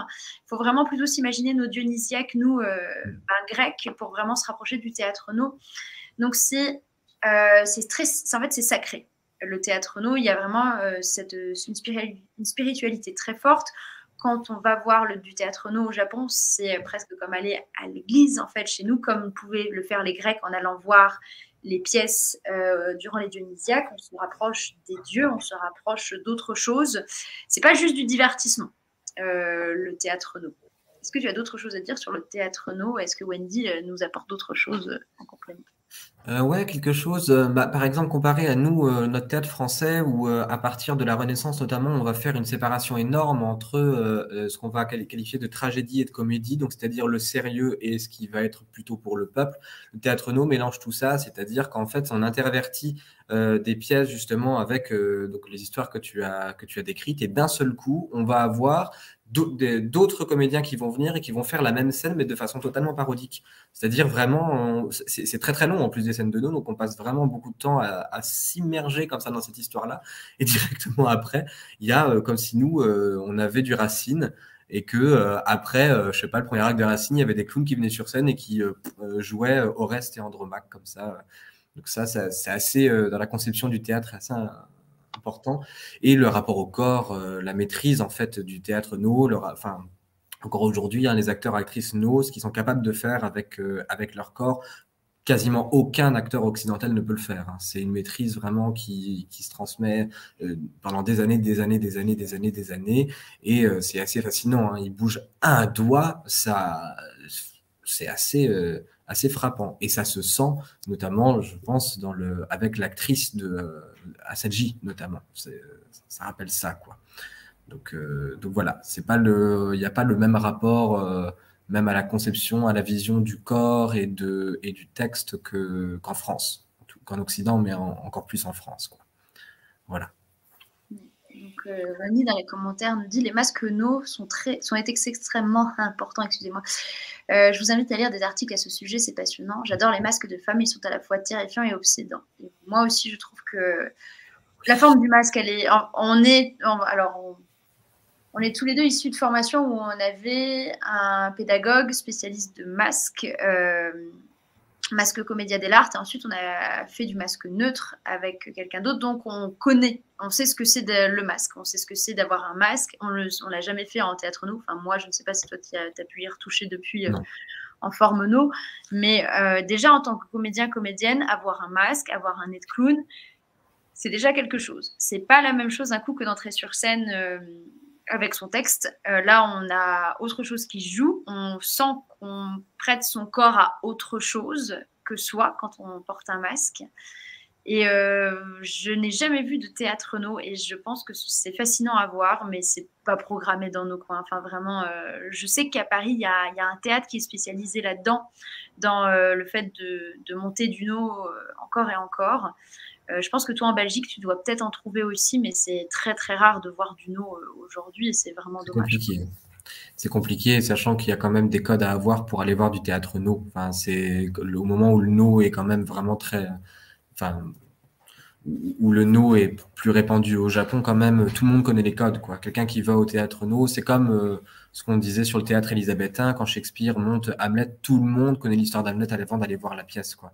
Et donc il y a aussi euh, le rapport, enfin les masques, les, les musiques, les euh, euh, les mouvements en fait euh, qui euh, qui renvoient à certains codes qui, qui montrent. Enfin, je, pense à un certain mouvement, un certain rythme, un certain masque à un certain moment de la pièce peut faire comprendre qu'il y a un esprit qui est en train d'arriver dans le monde des vivants. Il faut avoir le code, sinon tu ne le comprends pas. Donc, c'est compliqué d'aller voir du théâtre no comme ça. Quoi. Mais après, en tant qu'expérience sensible, je pense que ça doit être assez, assez, assez bouleversant. Donc là, je vous ai mis une, euh, image du, réalisateur que j'aurais dû vous mettre avant, mais je vous la mets quand même. Voilà, parce que c'est important. Euh, donc voilà, maintenant qu'on a fait notre petit point théâtre no, déjà que pensez-vous du théâtre no? On avait déjà vu, on avait déjà lu. Moi, je n'ai jamais lu de théâtre no en entier. J'avais dû lire des extraits quand j'étais à la Sorbonne il y a dix ans, mais euh, je m'en souviens plus. Voilà, très très honnêtement, ça, c'était tellement loin de moi et de tout ce que j'avais déjà pu lire que euh, j'ai pas été sensible à ça. En revanche, euh, j'avais été sensibilisée à ces formes-là orientales du théâtre parce que l'année de mon bac, moi, j'avais euh, Agamemnon au bac et en fait, dans la mise en scène et traduction d'Ariane Nouchkine, qui elle s'inspire du théâtre no, du théâtre indien également, qui s'inspire vraiment du théâtre euh, oriental pour retransposer aujourd'hui euh, l'Agamemnon. Donc, euh, c'est vrai que j'aurais pu faire ça, j'aurais pu vous chercher des photos euh, du L'Oresti par Ariane Nouchkine. Je vais le chercher. Je peux chercher en même temps. Oui, mais toi, tu peux pas voir le partage écran. C'est vrai. C'est pertinent comme réflexion. Voilà, donc euh, hop. je veux pas une vidéo. Ah, il veut me mettre une vidéo. Non, juste une image. Et en fait, Ariane Nouchkine, euh, en mettant vraiment en scène, euh, vous verrez les images, ça fait vraiment beaucoup, beaucoup penser au no, en tout cas à une forme qui n'est pas du tout occidentale, que ce soit par rapport au maquillage, au masque euh, du cœur, à tout ça elle disait que en fait, en s'inspirant du monde oriental, il- c'était la seule façon pour nous aujourd'hui en Europe de retrouver ce que c'était que le théâtre en Grèce antique et d'avoir cette dimension sacrée.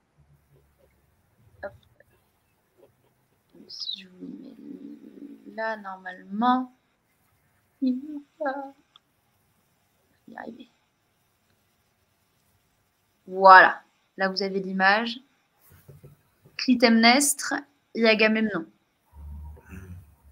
Donc, ils portent pas des masques, mais ils ont des maquillages qui rappellent beaucoup euh, le no, en fait. Donc, c'est comme ça que je connais un tout petit peu le no et l'esthétique euh, du no. Hop, je ferme ça, je ferme ça. Nous allons pouvoir revenir au film. Alors, il faut connaître les codes. Et oui. Oui. J'ai lu dernièrement Masque de femme d'une autrice japonaise début 20e à propos des masques féminins ambivalents du sujet permettent de créer des personnages complets. Bref, je m'égare. Ah non, non, non, mais il faut s'égarer, nous on aime bien hein, les genres de Ouais, c'est- le but. hein. Euh, si jamais tu as le- l'article, euh, le lien de l'article, si jamais tu l'as, Wendy, euh, si tu peux me partager, ce serait avec grand plaisir. C'est-à-dire des personnages complexes féminins parce que, alors je suis pas, enfin, je connais le Japon un peu comme tout Français de base connaît le Japon, mais donc je suis pas spécialiste du tout. Et comment elle est l'image de la femme en fait au Japon par rapport à ça? Et euh, je crois que c'est que les hommes qui pouvaient jouer du no pour le coup. Non, il me semble que c'est ça. Oui, j'ai souvenir de ça, en tout cas, de- du cours que j'avais eu sur le théâtre no. Ouais, j'ai souvenir que ce ne sont que les hommes qui peuvent euh, jouer au théâtre no, donc ce sont eux qui portent les masques de femmes, et donc l'air de rien, on se rapproche à nouveau de Shakespeare. Donc c'est vraiment, en fait, c'est là qu'on se rend compte que c'est très intelligent euh, de la part de Kurosawa de, bah, de, de prendre Shakespeare, quoi. Alors, on va commencer. Hop.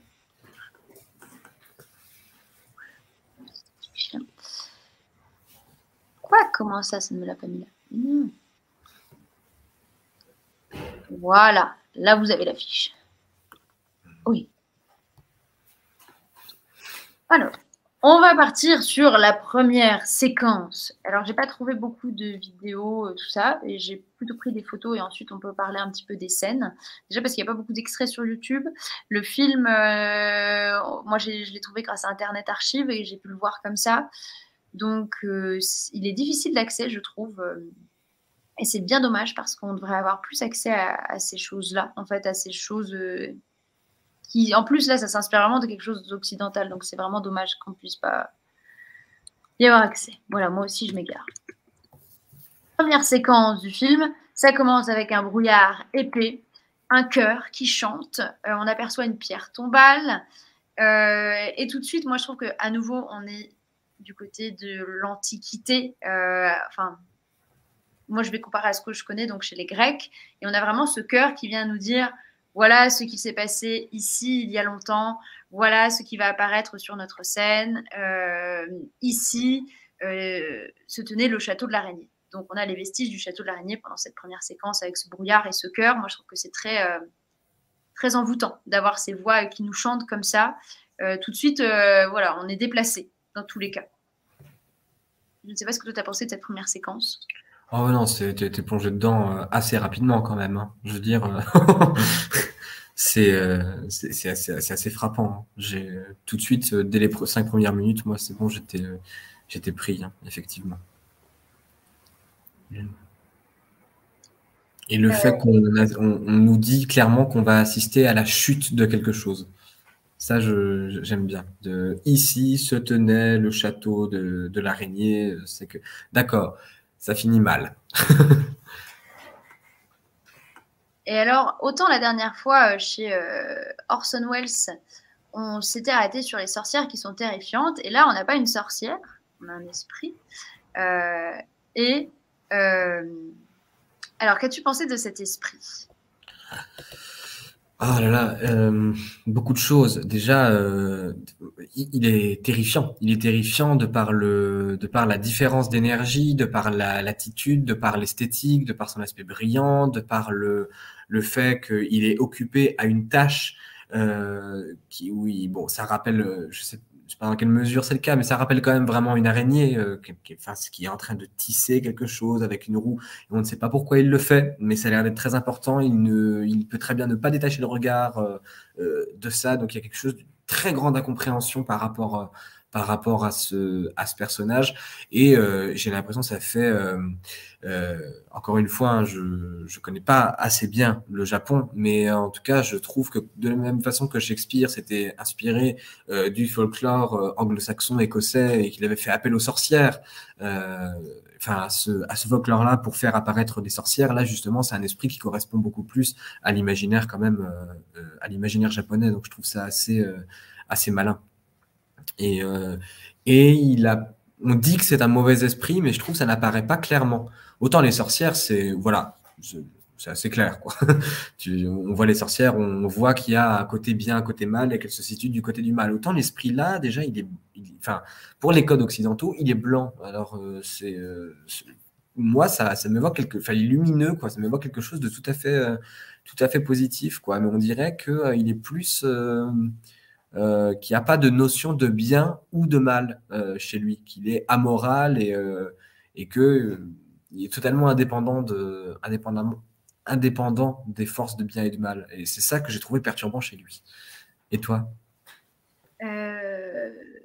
Alors on a une grosse chute des personnes qui sont là, donc j'espère que c'est pas parce que le live a planté. Donc dites-nous ah si vous nous entendez et vous vous voyez toujours, il y a toujours du réseau par chez vous. Si c'est juste des gens qui en ont marre qu'on parle et qui sont partis, dans ce cas-là, c'est pas grave.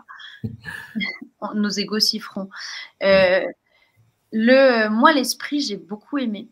Euh, pareil, où on entend, on entend d'abord la voix, on entend la chanson, donc ça rappelle un peu ces sorcières. Euh, bon, c'est bon, les gens sont toujours là, c'est très bien.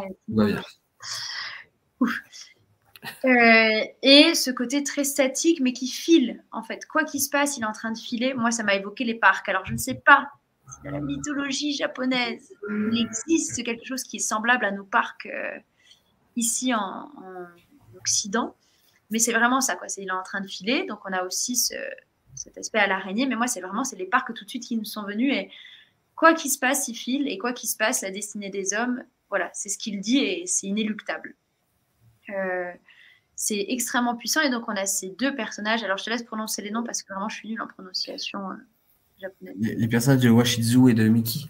Voilà, Washizu et Miki, euh, qui sont là, qui voient cet esprit, qui est dans cette cage au plein milieu de la forêt, euh, et qui ouvre, et cet esprit, voilà, il est là avec le regard presque vide, enfin, qui les transperce, qui est beaucoup plus loin qu'eux, et qui raconte cette histoire, mais qui a presque pas de sens. Et là, on retrouve le côté des sorcières de chez Macbeth, où il y avait euh, pas de sens non plus à leur prophétie, où en fait, ils leur font répéter en disant, mais qu'est-ce que vous nous dites? Mais, Et elles, elles continuent, elles leur la nuit et jour, le jour et nuit, enfin voilà, euh, toute cette chose-là très, très intrigante et il est extrêmement intrigant, il est étrange, il nous plonge tout de suite dans une étrangeté, mais je suis d'accord avec toi sur le fait qu'il me fait, il me dérange mais il ne me fait pas peur. Mm.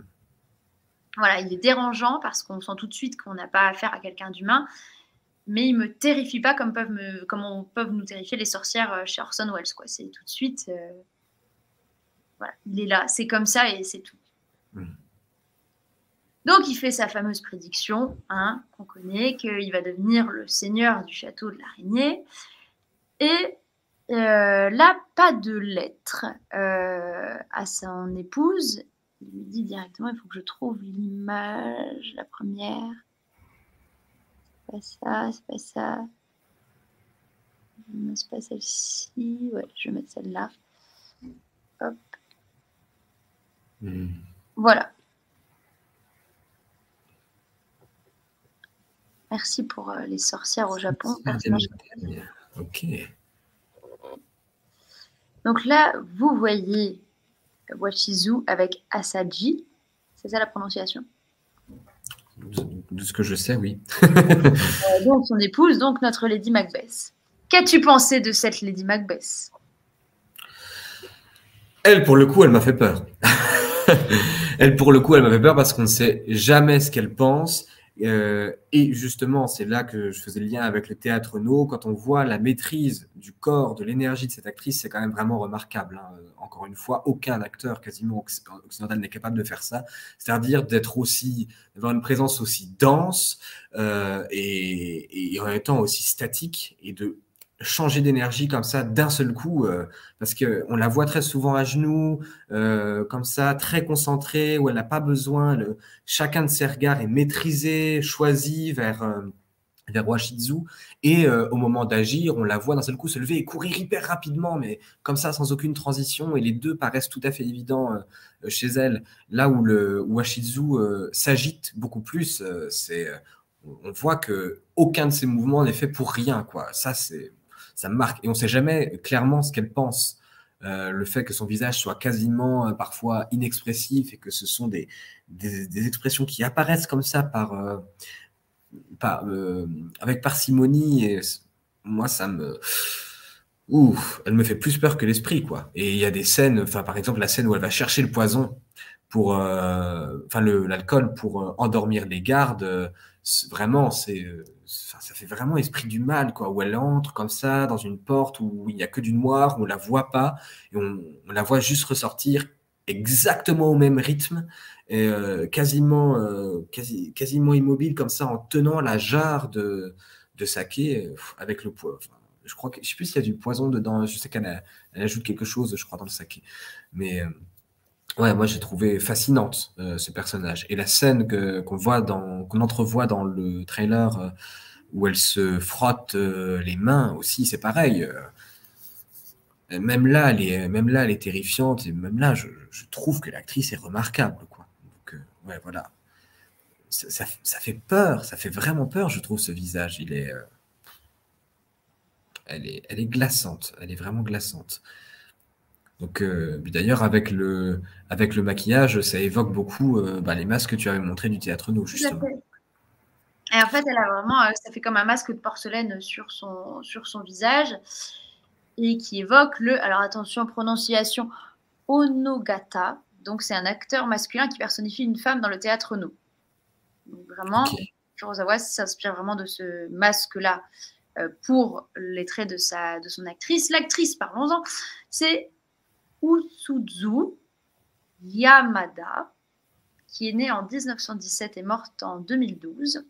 Et elle était fille de geisha. Voilà, j'ai trouvé que avec toute cette histoire, enfin, je sais pas, ça, je trouve que ça a quelque chose de très fascinant et qu'elle joue ensuite ce personnage-là d'Eggy Macbeth qui a un peu quelque chose de, de geisha fatal, très très gros guillemets. Attention, je suis une occidentale, je ne connais pas tous les codes, mais voilà ce que moi ça m'évoque. Euh, je trouve que c'était intéressant à, le- à noter. Elle a été primée hein, pour son interprétation d'Asaji. Ah, quand même. Oui, on comprend bien pourquoi. Euh, elle, euh, en fait, à chaque fois, elle fait rien. Enfin, autant on avait la, la semaine dernière chez Orson Welles une, une Lady Macbeth qui était quand même très présente, que ce soit physiquement, même si elle était plus petite que lui, on avait vu que par les jeux, euh, que ce soit de clair-obscur, que ce soit de désaxage de la caméra, par le fait qu'elle soit postée plus haut, par le fait de son tenue, de sa, de sa ceinture qui évoquait un phallus, enfin, tout ça, on, montrait très bien que c'était elle qui avait le dessus. Et là, euh, on va remettre l'image de tout à l'heure. Elle passe la moitié du film euh, position accroupie à genoux et c'est elle qui a le, qui a le dessus à 100%. Il n'y a aucune Aucun doute. Aucun doute. Même à sa première apparition, on sait que c'est elle et elle, elle bouge pas. Et lui, tout à fait, tu as raison quand tu dis, il s'agite en fait tout autour d'elle et ça fait un peu cette mouche qui va s'agiter tout autour de la toile de l'araignée, l'araignée qui est, qui est dans son centre comme ça, et qui sait qu'elle a juste à, attraper, et puis c'est tout, quoi. Et elle se, elle, elle s'excite pas, l'araignée, elle se... Il n'y a pas de changement de rythme, quoi. Mis à part quand elle va prendre le, le sabre, euh, là, pour ensuite aller continuer ce qu'a fait son mari, mais sinon, euh, c'est tout, elle est très très calme. Je trouve que l'image de l'araignée est particulièrement euh, pertinente dans, quand on voit une araignée qui est immobile sur sa toile et qu'il y a une proie qui se, qui s'approche et d'un seul coup elle court hyper vite et t'as pas le temps de voir ce qu'elle a fait que déjà euh, la proie est prise et elle est, c'est déjà trop tard quoi. Et oui, quand elle le glisse à travers les pièces, c'est exactement ça, je trouve. C'est vraiment, elle reste là et quand il faut bouger, elle bouge et elle est sûre de gagner. c'est, c'est, c'est, elle est quasiment pas humaine quoi. Ah oui, vraiment, elle est et en plus elle est extrêmement inexpressive. Vraiment, elle a un visage qui est impassible, on ne sait pas, et c'est ça qui est terrifiant. En fait, je trouve que c'est même plus terrifiant que quelqu'un dont on sait les intentions, dont on devine les intentions et tout. Là, elle a quelque chose de. Ah ben, vraiment, elle... c'est une incarnation parfaite pour moi de, de, ce que représente Lady Macbeth parce que euh, on ne sait pas ce qui l'anime en fait réellement chez Macbeth. Ensuite, ben, on a vu que dans Dunsinane, on lui donne une raison, que Gordon Baltolmy lui donne aussi une raison qui est qu'elle est fille, petite fille, arrière-petite fille de roi, donc c'est pour ça qu'elle a l'ambition. Mais en fait, on ne sait pas pourquoi. Elle est comme ça, elle, elle est accroupie et d'un coup elle dit Eh bien, on va faire ça. ah, ah, mais c'est glaçant. En fait, il n'y a rien qui peut l'arrêter. Et donc, on est vraiment dans le théâtre no avec ce côté euh, de gestuel qui, qui, dit tout, en fait. C'est très simple, c'est euh, c'est peu de choses, mais comme tu dis, ça lève le petit doigt et là, on raconte toute une autre histoire en fait. C'est aiguisé comme geste, je trouve. À fond. Je pense que c'est une super version nippone de Lady Macbeth. On pourrait difficilement faire mieux. Bah, je suis d'accord. Insondable, mais tout à fait. Et euh, donc, il y a cette scène où elle va tuer les gardes, où elle reprend le, le sabre. Euh, enfin voilà, et là, regardez, regardez-moi cette tête-là. regardez-moi ce visage. c'est du, sabre euh, ou, c'est une autre? Euh, Je crois que c'est quand elle revient. Parce que là, nous, on a toujours l'image où elle est penchée sur le ah, sabre. Non, non, non, pardon, excusez-moi. En plus, je fais des gros zooms et vous ne voyez pas. Après, attendez. Enfin, moi, j'ai toujours l'image là. Je ne sais pas si vous, vous aussi. Ah, ah oui. oui on a vraiment on a un masque en fait, on n'a plus un être humain en face de nous. Complètement. Et c'est terrifiant. On a presque l'impression qu'il vit avec un fantôme, quoi, ou enfin avec un démon avec lui. C'est quand même. Enfin, en tant qu'occidental, vraiment, ça fonctionne comme Lady Macbeth. Je pense que c'est même ce qu'il faut voir en premier quand on est occidental pour euh, une figure de Lady Macbeth, parce qu'on doit dire voilà, faut que qu'elle fasse peur comme ça, qu'elle soit dérangeante comme ça. Ouais, c'est ça. nous, ça nous dérange, je pense, encore plus parce qu'en tant qu'occidentaux, c'est pas nos représentations. Euh, habituel, donc on est, on est des accès aussi. Mais là, euh, voilà, c'est incroyable. Euh... Oh bah c'est pas possible que les pompiers, c'est des hôpitaux, c'est ah, la Non, c'est Liège. Il y a des ambulances et des, de la police qui passent tout le temps. On dirait pas comme ça, hein, franchement, Los Angeles, c'est rien à côté. là. Et là, on la revoit plus tard avec les mains. Hmm. Ça, c'est pareil, c'est très très fort. Hmm. Ah oui, cette scène euh, est intense. C'est rythmé, c'est précis, c'est répétitif et ah, c'est obsédant. Même en tant que public, là, c'est obsédant. On n'est pas dans quelque chose de... Nous, on va avoir tendance beaucoup à jouer Lady Macbeth avec les mains remontées à regarder. Et là, c'est vers le bas et comme ça. Et... Elle regarde même pas ses mains. Elle a quelque chose où ça l'a ça s'est imprimé en elle, quoi. Ouais.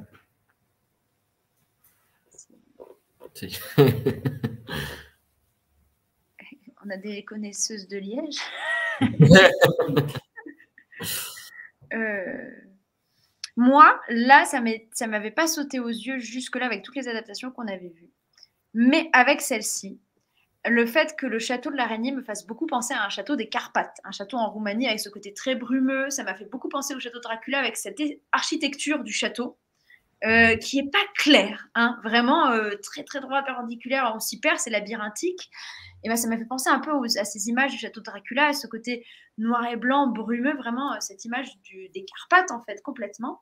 Et Lady Macbeth là m'est apparue vraiment comme une comtesse Bathory, comme un personnage vampirique, avec ce côté aussi très masque blanc, porcelaine, accentué, non humain. Enfin là j'ai vraiment vu cette comtesse sanglante en fait. Je ne sais pas si toi, ça tu as réfléchi, tu as vu ça ou pas. Si, mais je trouve que le couple est perturbant. Euh, du coup, de par la présence de Lady Macbeth, parce qu'on voit que Washizu n'essaie pas d'échapper euh, à Saji. Hein. vraiment, il lui est dévoué, euh, il l'aime profondément aussi, et, et, enfin, je comprends pas pourquoi. Enfin, juste c'est comme ça. Il n'y a pas de, d'explication. Donc, ouais, moi je voyais, je voyais un spectre, quoi. Vraiment quand elle, euh, quand elle se déplace, euh, quand, euh, et qu'elle a, je sais pas, une aura, un magnétisme, une force vraiment qui, qui fait qu'elle a euh, Washizu comme ça au creux de sa main hyper facilement. Quoi. C'est, c'est très puissant. Là où effectivement les différentes interprétations qu'on a pu voir jusqu'à présent et en Occident en général sont des interprétations qui sont plus émotives, si je puis dire. Là, on voit que c'est elle qui a le dessus, même en position euh, inverse de ce qu'on a vu la semaine dernière avec Orson Welles. Quoi. Euh, le contraste dans le couple est vraiment intéressant aussi. Bah, ça rejoint exactement ce que tu, dis.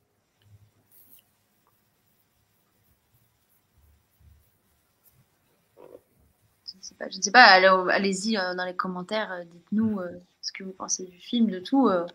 Faites-nous des gros commentaires qu'on puisse en discuter ensemble. Moi, j'ai pas forcément grand-chose à dire de plus parce que vraiment, euh, ça m'a, ça m'a beaucoup frappé comme, euh, comme interprétation, comme adaptation. Et euh, je, trouve qu'elle fonctionne parfaitement et qu'elle a ce côté où, pour une fois, on ne sexualise pas en plus Lady Macbeth et on ne dit pas que c'est par son attrait sexuel qu'elle tient Macbeth, quoi, en fait. Là, ça n'a rien à voir. Hein. Il n'y a aucune question de sexualité entre les deux. De, c'est autre chose, c'est plus puissant, c'est spectral, c'est vampirique. Enfin, c'est une dé... elle a ce côté extrêmement démon, pas démoniaque, mais démon euh, qui, est là, quoi. Ah bah, elle ressemble beaucoup à l'esprit qu'on a vu tout à l'heure. Ah, c'est celle qui lui ressemble le plus. Et elle ressemble aussi au fantôme de, de Mickey.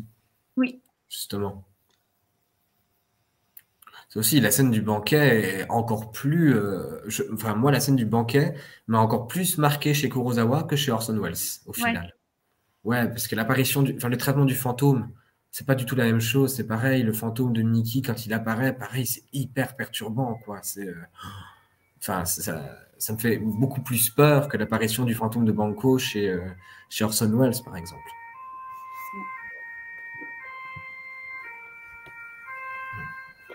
Par rapport à si on n'a plus rien à dire ensuite sur le film, on va pouvoir faire un petit peu des comparatifs parce que maintenant on a un peu de matière. Bah ouais. Alors, Que préfères-tu entre euh, Macbeth, Gruard, Dunsinane? Alors, ben moi, je crois que Dunsinane, c'est celle qui m'a le plus marqué. Euh, vraiment, euh, bon, j'adore Macbeth et pour tout ce que tout ce qu'on a pu dire et tout ce qu'on a pu interpréter, etc. Et voilà, c'est Shakespeare. Mais la pièce de Dunsinane m'a énormément marqué. Hein après, je l'ai aussi en mémoire parce que je l'ai écouté, euh, écouté tout à l'heure, mais l'écriture, le, le, rythme, tout ce qu'on peut trouver dans cette pièce m'a profondément marqué personnellement.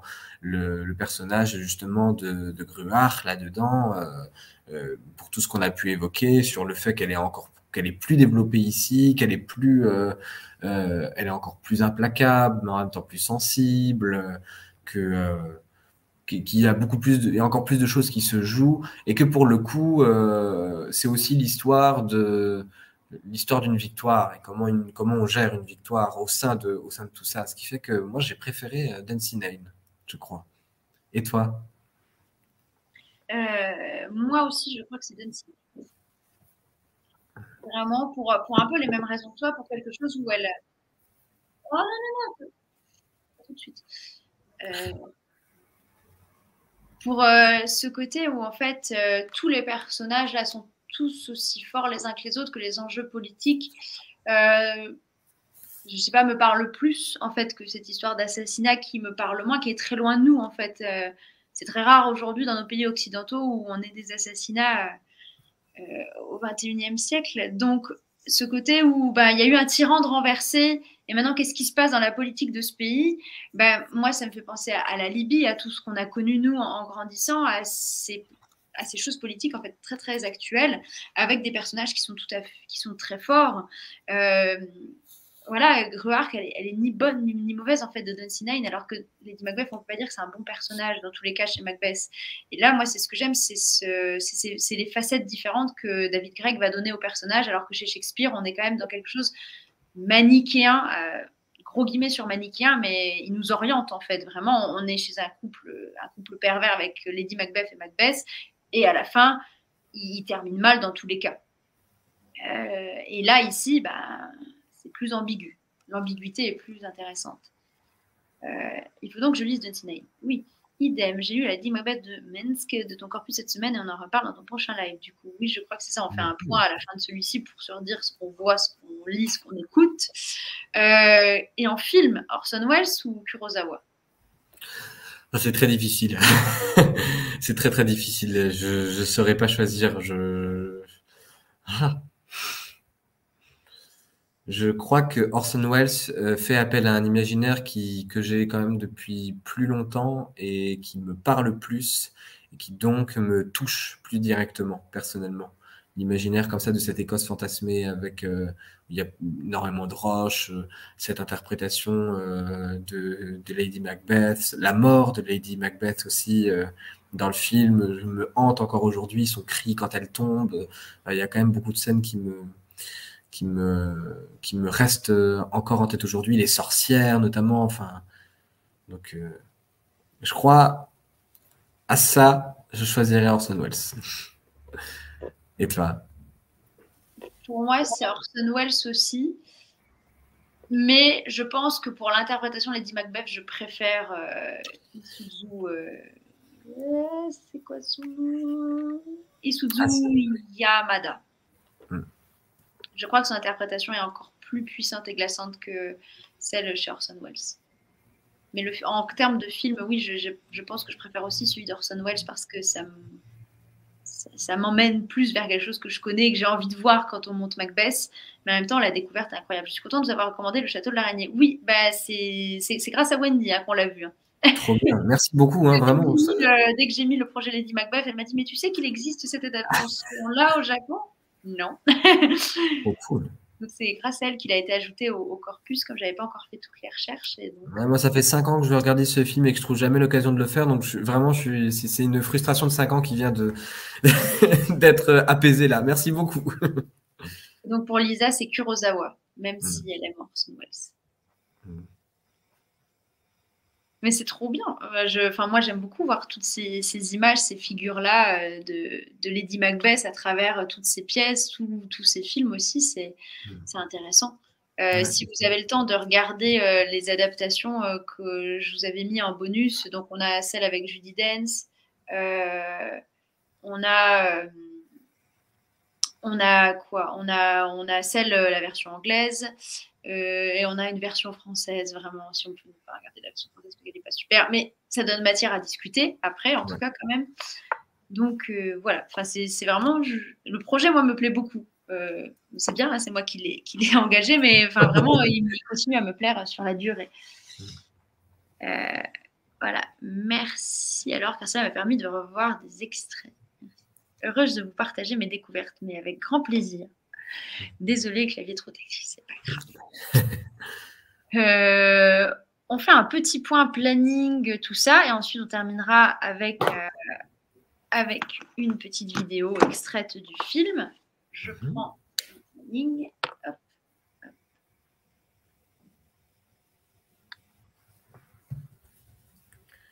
Alors.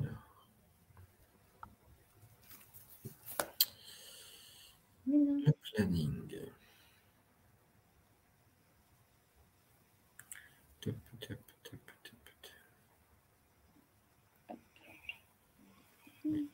Décembre. Alors, on est aujourd'hui le 11. Ok. à fait, le 11 décembre, donc aujourd'hui, enfin cette semaine, on est censé regarder le film Macbeth de Justin Kurzel. C'est Marion Cotillard, hein voilà, on rappelle. Marion Oui. Cotillard. Voilà. Euh, Celui-ci, il est sur Prime. Bon, il faut, il faut, le, il faut le louer, mais il est sur Prime en tout cas. Euh, là, normalement, je vais être en colère, hein, voilà, là, pour le live de la semaine prochaine. hein. Peut-être pas, peut-être je vais avoir une bonne surprise, mais je pense pas. Surtout après, Orson Welles et Kurosawa, là, après, euh, bon courage Marion. hein. oh, pitié. si, si, si, il faut qu'on le voit quand même, parce que c'est c'est un des plus récents, blockbuster et tout, donc on est obligé. Euh, Mais non, mais vraiment, je pense qu'on va peut-être avoir de belles découvertes dans ce film. Peut-être qu'on va, ça va amener beaucoup de discussions par rapport à tout ce qu'on a vu par le passé. Oui. Voilà. C'est vrai. Et donc, le livre, effectivement, programme cette semaine, c'est. euh, les- Bon, J'ai un livre que j'ai pas mis, je suis en train de me rendre compte. Ou c'est après? Ah, Je crois qu'il y a un livre que j'ai oublié de mettre une pièce. Mhm. Ah, ah. Ah ah, c'est ce qui s'appelle Lady Macbeth de Pamela Edward. Mais c'est pas grave, on pourra la lire euh, plus tard, je vous, je vous le redirai. Cette semaine, effectivement, en livre, euh, c'est la Lady Macbeth du district de Mtink de Nikolai Letskov. Mhm. Euh, et on a à écouter euh, mercredi, euh, enfin non, là c'est le Duncinan sur France Culture cette semaine à écouter. Mhm. Voilà, pour si on l'a lu comme ça, bah, on peut l'écouter en plus pour comparer. Et si on l'a pas lu, comme ça, ça nous donne l'occasion de l'écouter. D'avoir une version audio euh, avec la voix de la- de l'actrice, qui, de la comédienne qui prête sa voix à Gruard et qui c'est vraiment euh, super. Voilà. Je vais regarder juste pour partager la rage. Et ben c'est bien. Et ben, moi, je ne regarderai pas ce soir euh, et tout parce que bah, je me lève à 5h du matin, je vous dis. Et Pareil, je la semaine. Mais je vous mettrai sur Instagram quand je compte le regarder dans la semaine. Voilà. Et ensuite, on aura un live la semaine prochaine. À nouveau, les lives, c'est euh, euh, soit vendredi, soit samedi. C'est sûr, ce sera pas dimanche puisque moi je joue dimanche. Donc euh, voilà, on vous dira dans la semaine. Pour les lectures bonus, comment je m'organise Et ben c'est en fonction euh, de qui a lu quoi à chaque fois. Et euh, en fait, à chaque fois, vous pouvez pendant le début du live dire moi j'ai lu ça en plus, moi j'ai lu ça et j'y reviens à, à la fin. Euh, puis-je avoir le livre à lire car j'ai eu un écho sur vos voix? Ah, alors. Oui. Merci.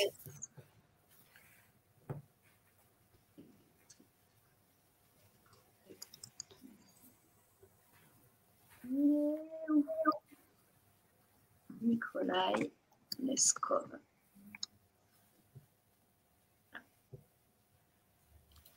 Euh, oui, oui, donc il y a une pièce effectivement que j'ai pas mise dans mon planning, euh, mais pourtant qui est bien dans mon- ma liste des œuvres. C'est la Lady Macbeth. C'est une pièce de Pamela Edward et Gaspare Dori. Voilà. Mhm. Non, mais t'inquiète pas. Euh, donc voilà, et donc celle-ci, elle sera à lire euh, bah, plutôt euh, comme c'est une pièce, elle sera à lire un peu plus tard, ça va plus vite. Donc là, la semaine prochaine, euh, le, roman de Nikolai Letskov. Voilà. Donc toi, Wendy, tu as pris de l'avance, donc tu peux déjà prendre l'avance pour euh, Lady Macbeth. Je mets la pièce euh, ici. Macbeth. Pamela deux la Pamela.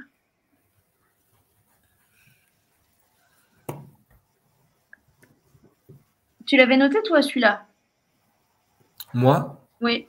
oui, bah, je, je crois que tu l'avais partagé. Tu l'avais pas partagé dans les lectures bonus Si, si, je- Non, il n'était pas dans les bonus. Lui, il est vraiment euh, il est prévu dans le programme, mais je l'ai juste pas mis dans mon planning. Ah, Je crois que c'est dans un message que tu m'avais envoyé ou tu l'avais dit à l'oral et que je l'avais que je l'avais noté.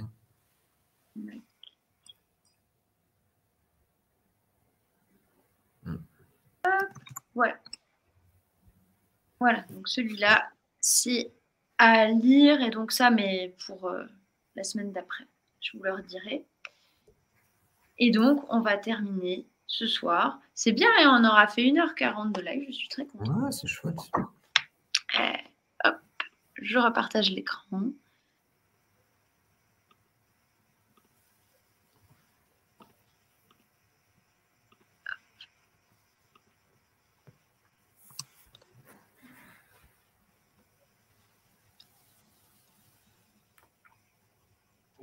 ごそごと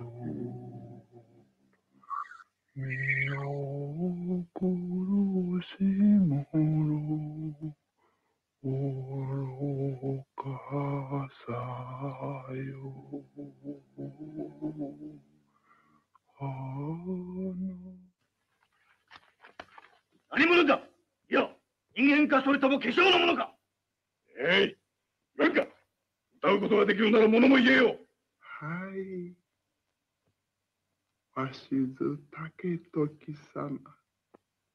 一の砦の大将様。おい、わしを存じておるのかはい。はい。やがては、雲の巣城のご城主様。答えな誰事もほどほどにせいあなたのお子様は、やがて雲の巣城のご城主様。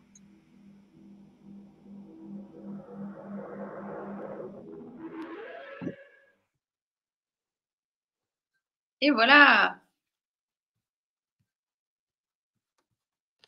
Mm. Ah, trop bien pour les yeux de Lady Macbeth. Moi, c'est une nouvelle que j'avais lue de Louisa May Alcott. Euh, comme il me reste un peu de temps sur ce que j'avais prévu, on peut, on peut parler de ça. Euh, c'est une nouvelle. Donc, Louisa May Alcott, c'est la maman des quatre filles du docteur March. Dans cette nouvelle, c'est un jeune garçon qui est peintre et qui rêve de peindre la scène de Lady Macbeth avec le flambeau quand elle revient euh, toute possédée, qu'elle est somnambule. Mais il trouve pas de modèle qui a les yeux de Lady Macbeth. Donc il va voir une pièce et c'est pas la comédienne euh, sur qui il s'arrête, c'est une jeune fille dans le public. Et j'en dis pas plus. Euh, J'ai pas trop spoilé en disant ça, même pas du tout, mais juste pour donner envie de lire cette nouvelle. Ouais. Elle est, elle est, elle est très très bien. Euh, voilà, si on aime tout ce qui est euh, nouvelle fantastique du 19e, Théophile Gautier, ouais, Théophile Gautier euh, principalement, vraiment, ça, elle est, moi j'avais beaucoup aimé la nouvelle. Tellement intéressant, un bonheur. Merci beaucoup. Beau rêve, Lisa. Oui, beau, beau rêve, Perceline aussi. Ces échanges de qualité, c'est toujours un plaisir de vous entendre. Ben, merci beaucoup. Ça nous Merci beaucoup, merci beaucoup à vous. Ouais, on essaye que ce soit euh, donner envie de dire cool. On essaye vraiment que ce soit euh, intéressant au-delà de divertissant. Euh, on est tous les deux quand même, on aime bien apprendre et on aime bien euh, pouvoir transmettre des choses. Donc, euh, ouais. enfin, c'est moi, ça m'aide beaucoup euh, ça. Théophile Gauthier, La Morte Amoureuse. Eh bien oui, bah, si vous Ah. aimez La Morte Amoureuse, tout ça, il faut lire Les Yeux de. voilà. Mais je le mets en lecture bonus parce qu'après, les gens, ils achètent beaucoup, beaucoup trop de livres et je voulais pas forcément que ce soit une ruine de, de participer à, à cette création commune d'épisodes. Hmm. Voilà. Donc la semaine dernière, j'ai pas eu le temps sur Instagram de repartager toutes les comédiennes et actrices qu'on avait dites possiblement pour incarner Lady Macbeth et ainsi que les pièces qui pouvaient évoquer des personnages féminins tels que Lady Macbeth. J'essaye de le faire cette semaine. Je promets rien parce que j'ai encore une semaine de travail chargée, mais en tout cas, comme à partir de dimanche prochain, je suis en vacances. Là, je vais pouvoir avoir un peu plus de temps de repartager le tout. Et pour le live, euh, est-ce que toi, tu sais déjà pour la semaine prochaine ou pas du tout? Euh, moi, ça pourrait être euh, en soirée, sûrement. Parce que du coup, euh, je joue euh, à partir de mardi euh, jusqu'au 20. Donc, je joue aussi ce week-end, mais on joue à 14h et après, on a les retours pendant un certain temps. Je pense que le soir, c'est possible. Mais je, je pourrais en dire plus dans la semaine, quoi. Ok, pas comme d'habitude. voilà, suivez bien Instagram et, et on vous Ouais. redit, on vous partage tout ça. Merci à vous d'avoir suivi. Merci pour ces échanges. C'est trop Ouais. bien, c'est passionnant. Trop. Euh, et ben à la semaine prochaine, bonne lecture, bon visionnage. On peut s'envoyer des messages euh, sur Instagram sur Marion Cotillard qui joue les Voilà, ce sera drôle. À défaut d'être bien. Moi, je ne jouerai jamais avec Guillaume Canet euh, dans ses films, hein, du coup, comme je critique sa Mm. femme. Ah là, là, t'es grillé. Eh ben, bonne soirée, bon dimanche soir à tout le monde. Bonne, Bonne soirée semaine. tout le monde. Tout. À bientôt.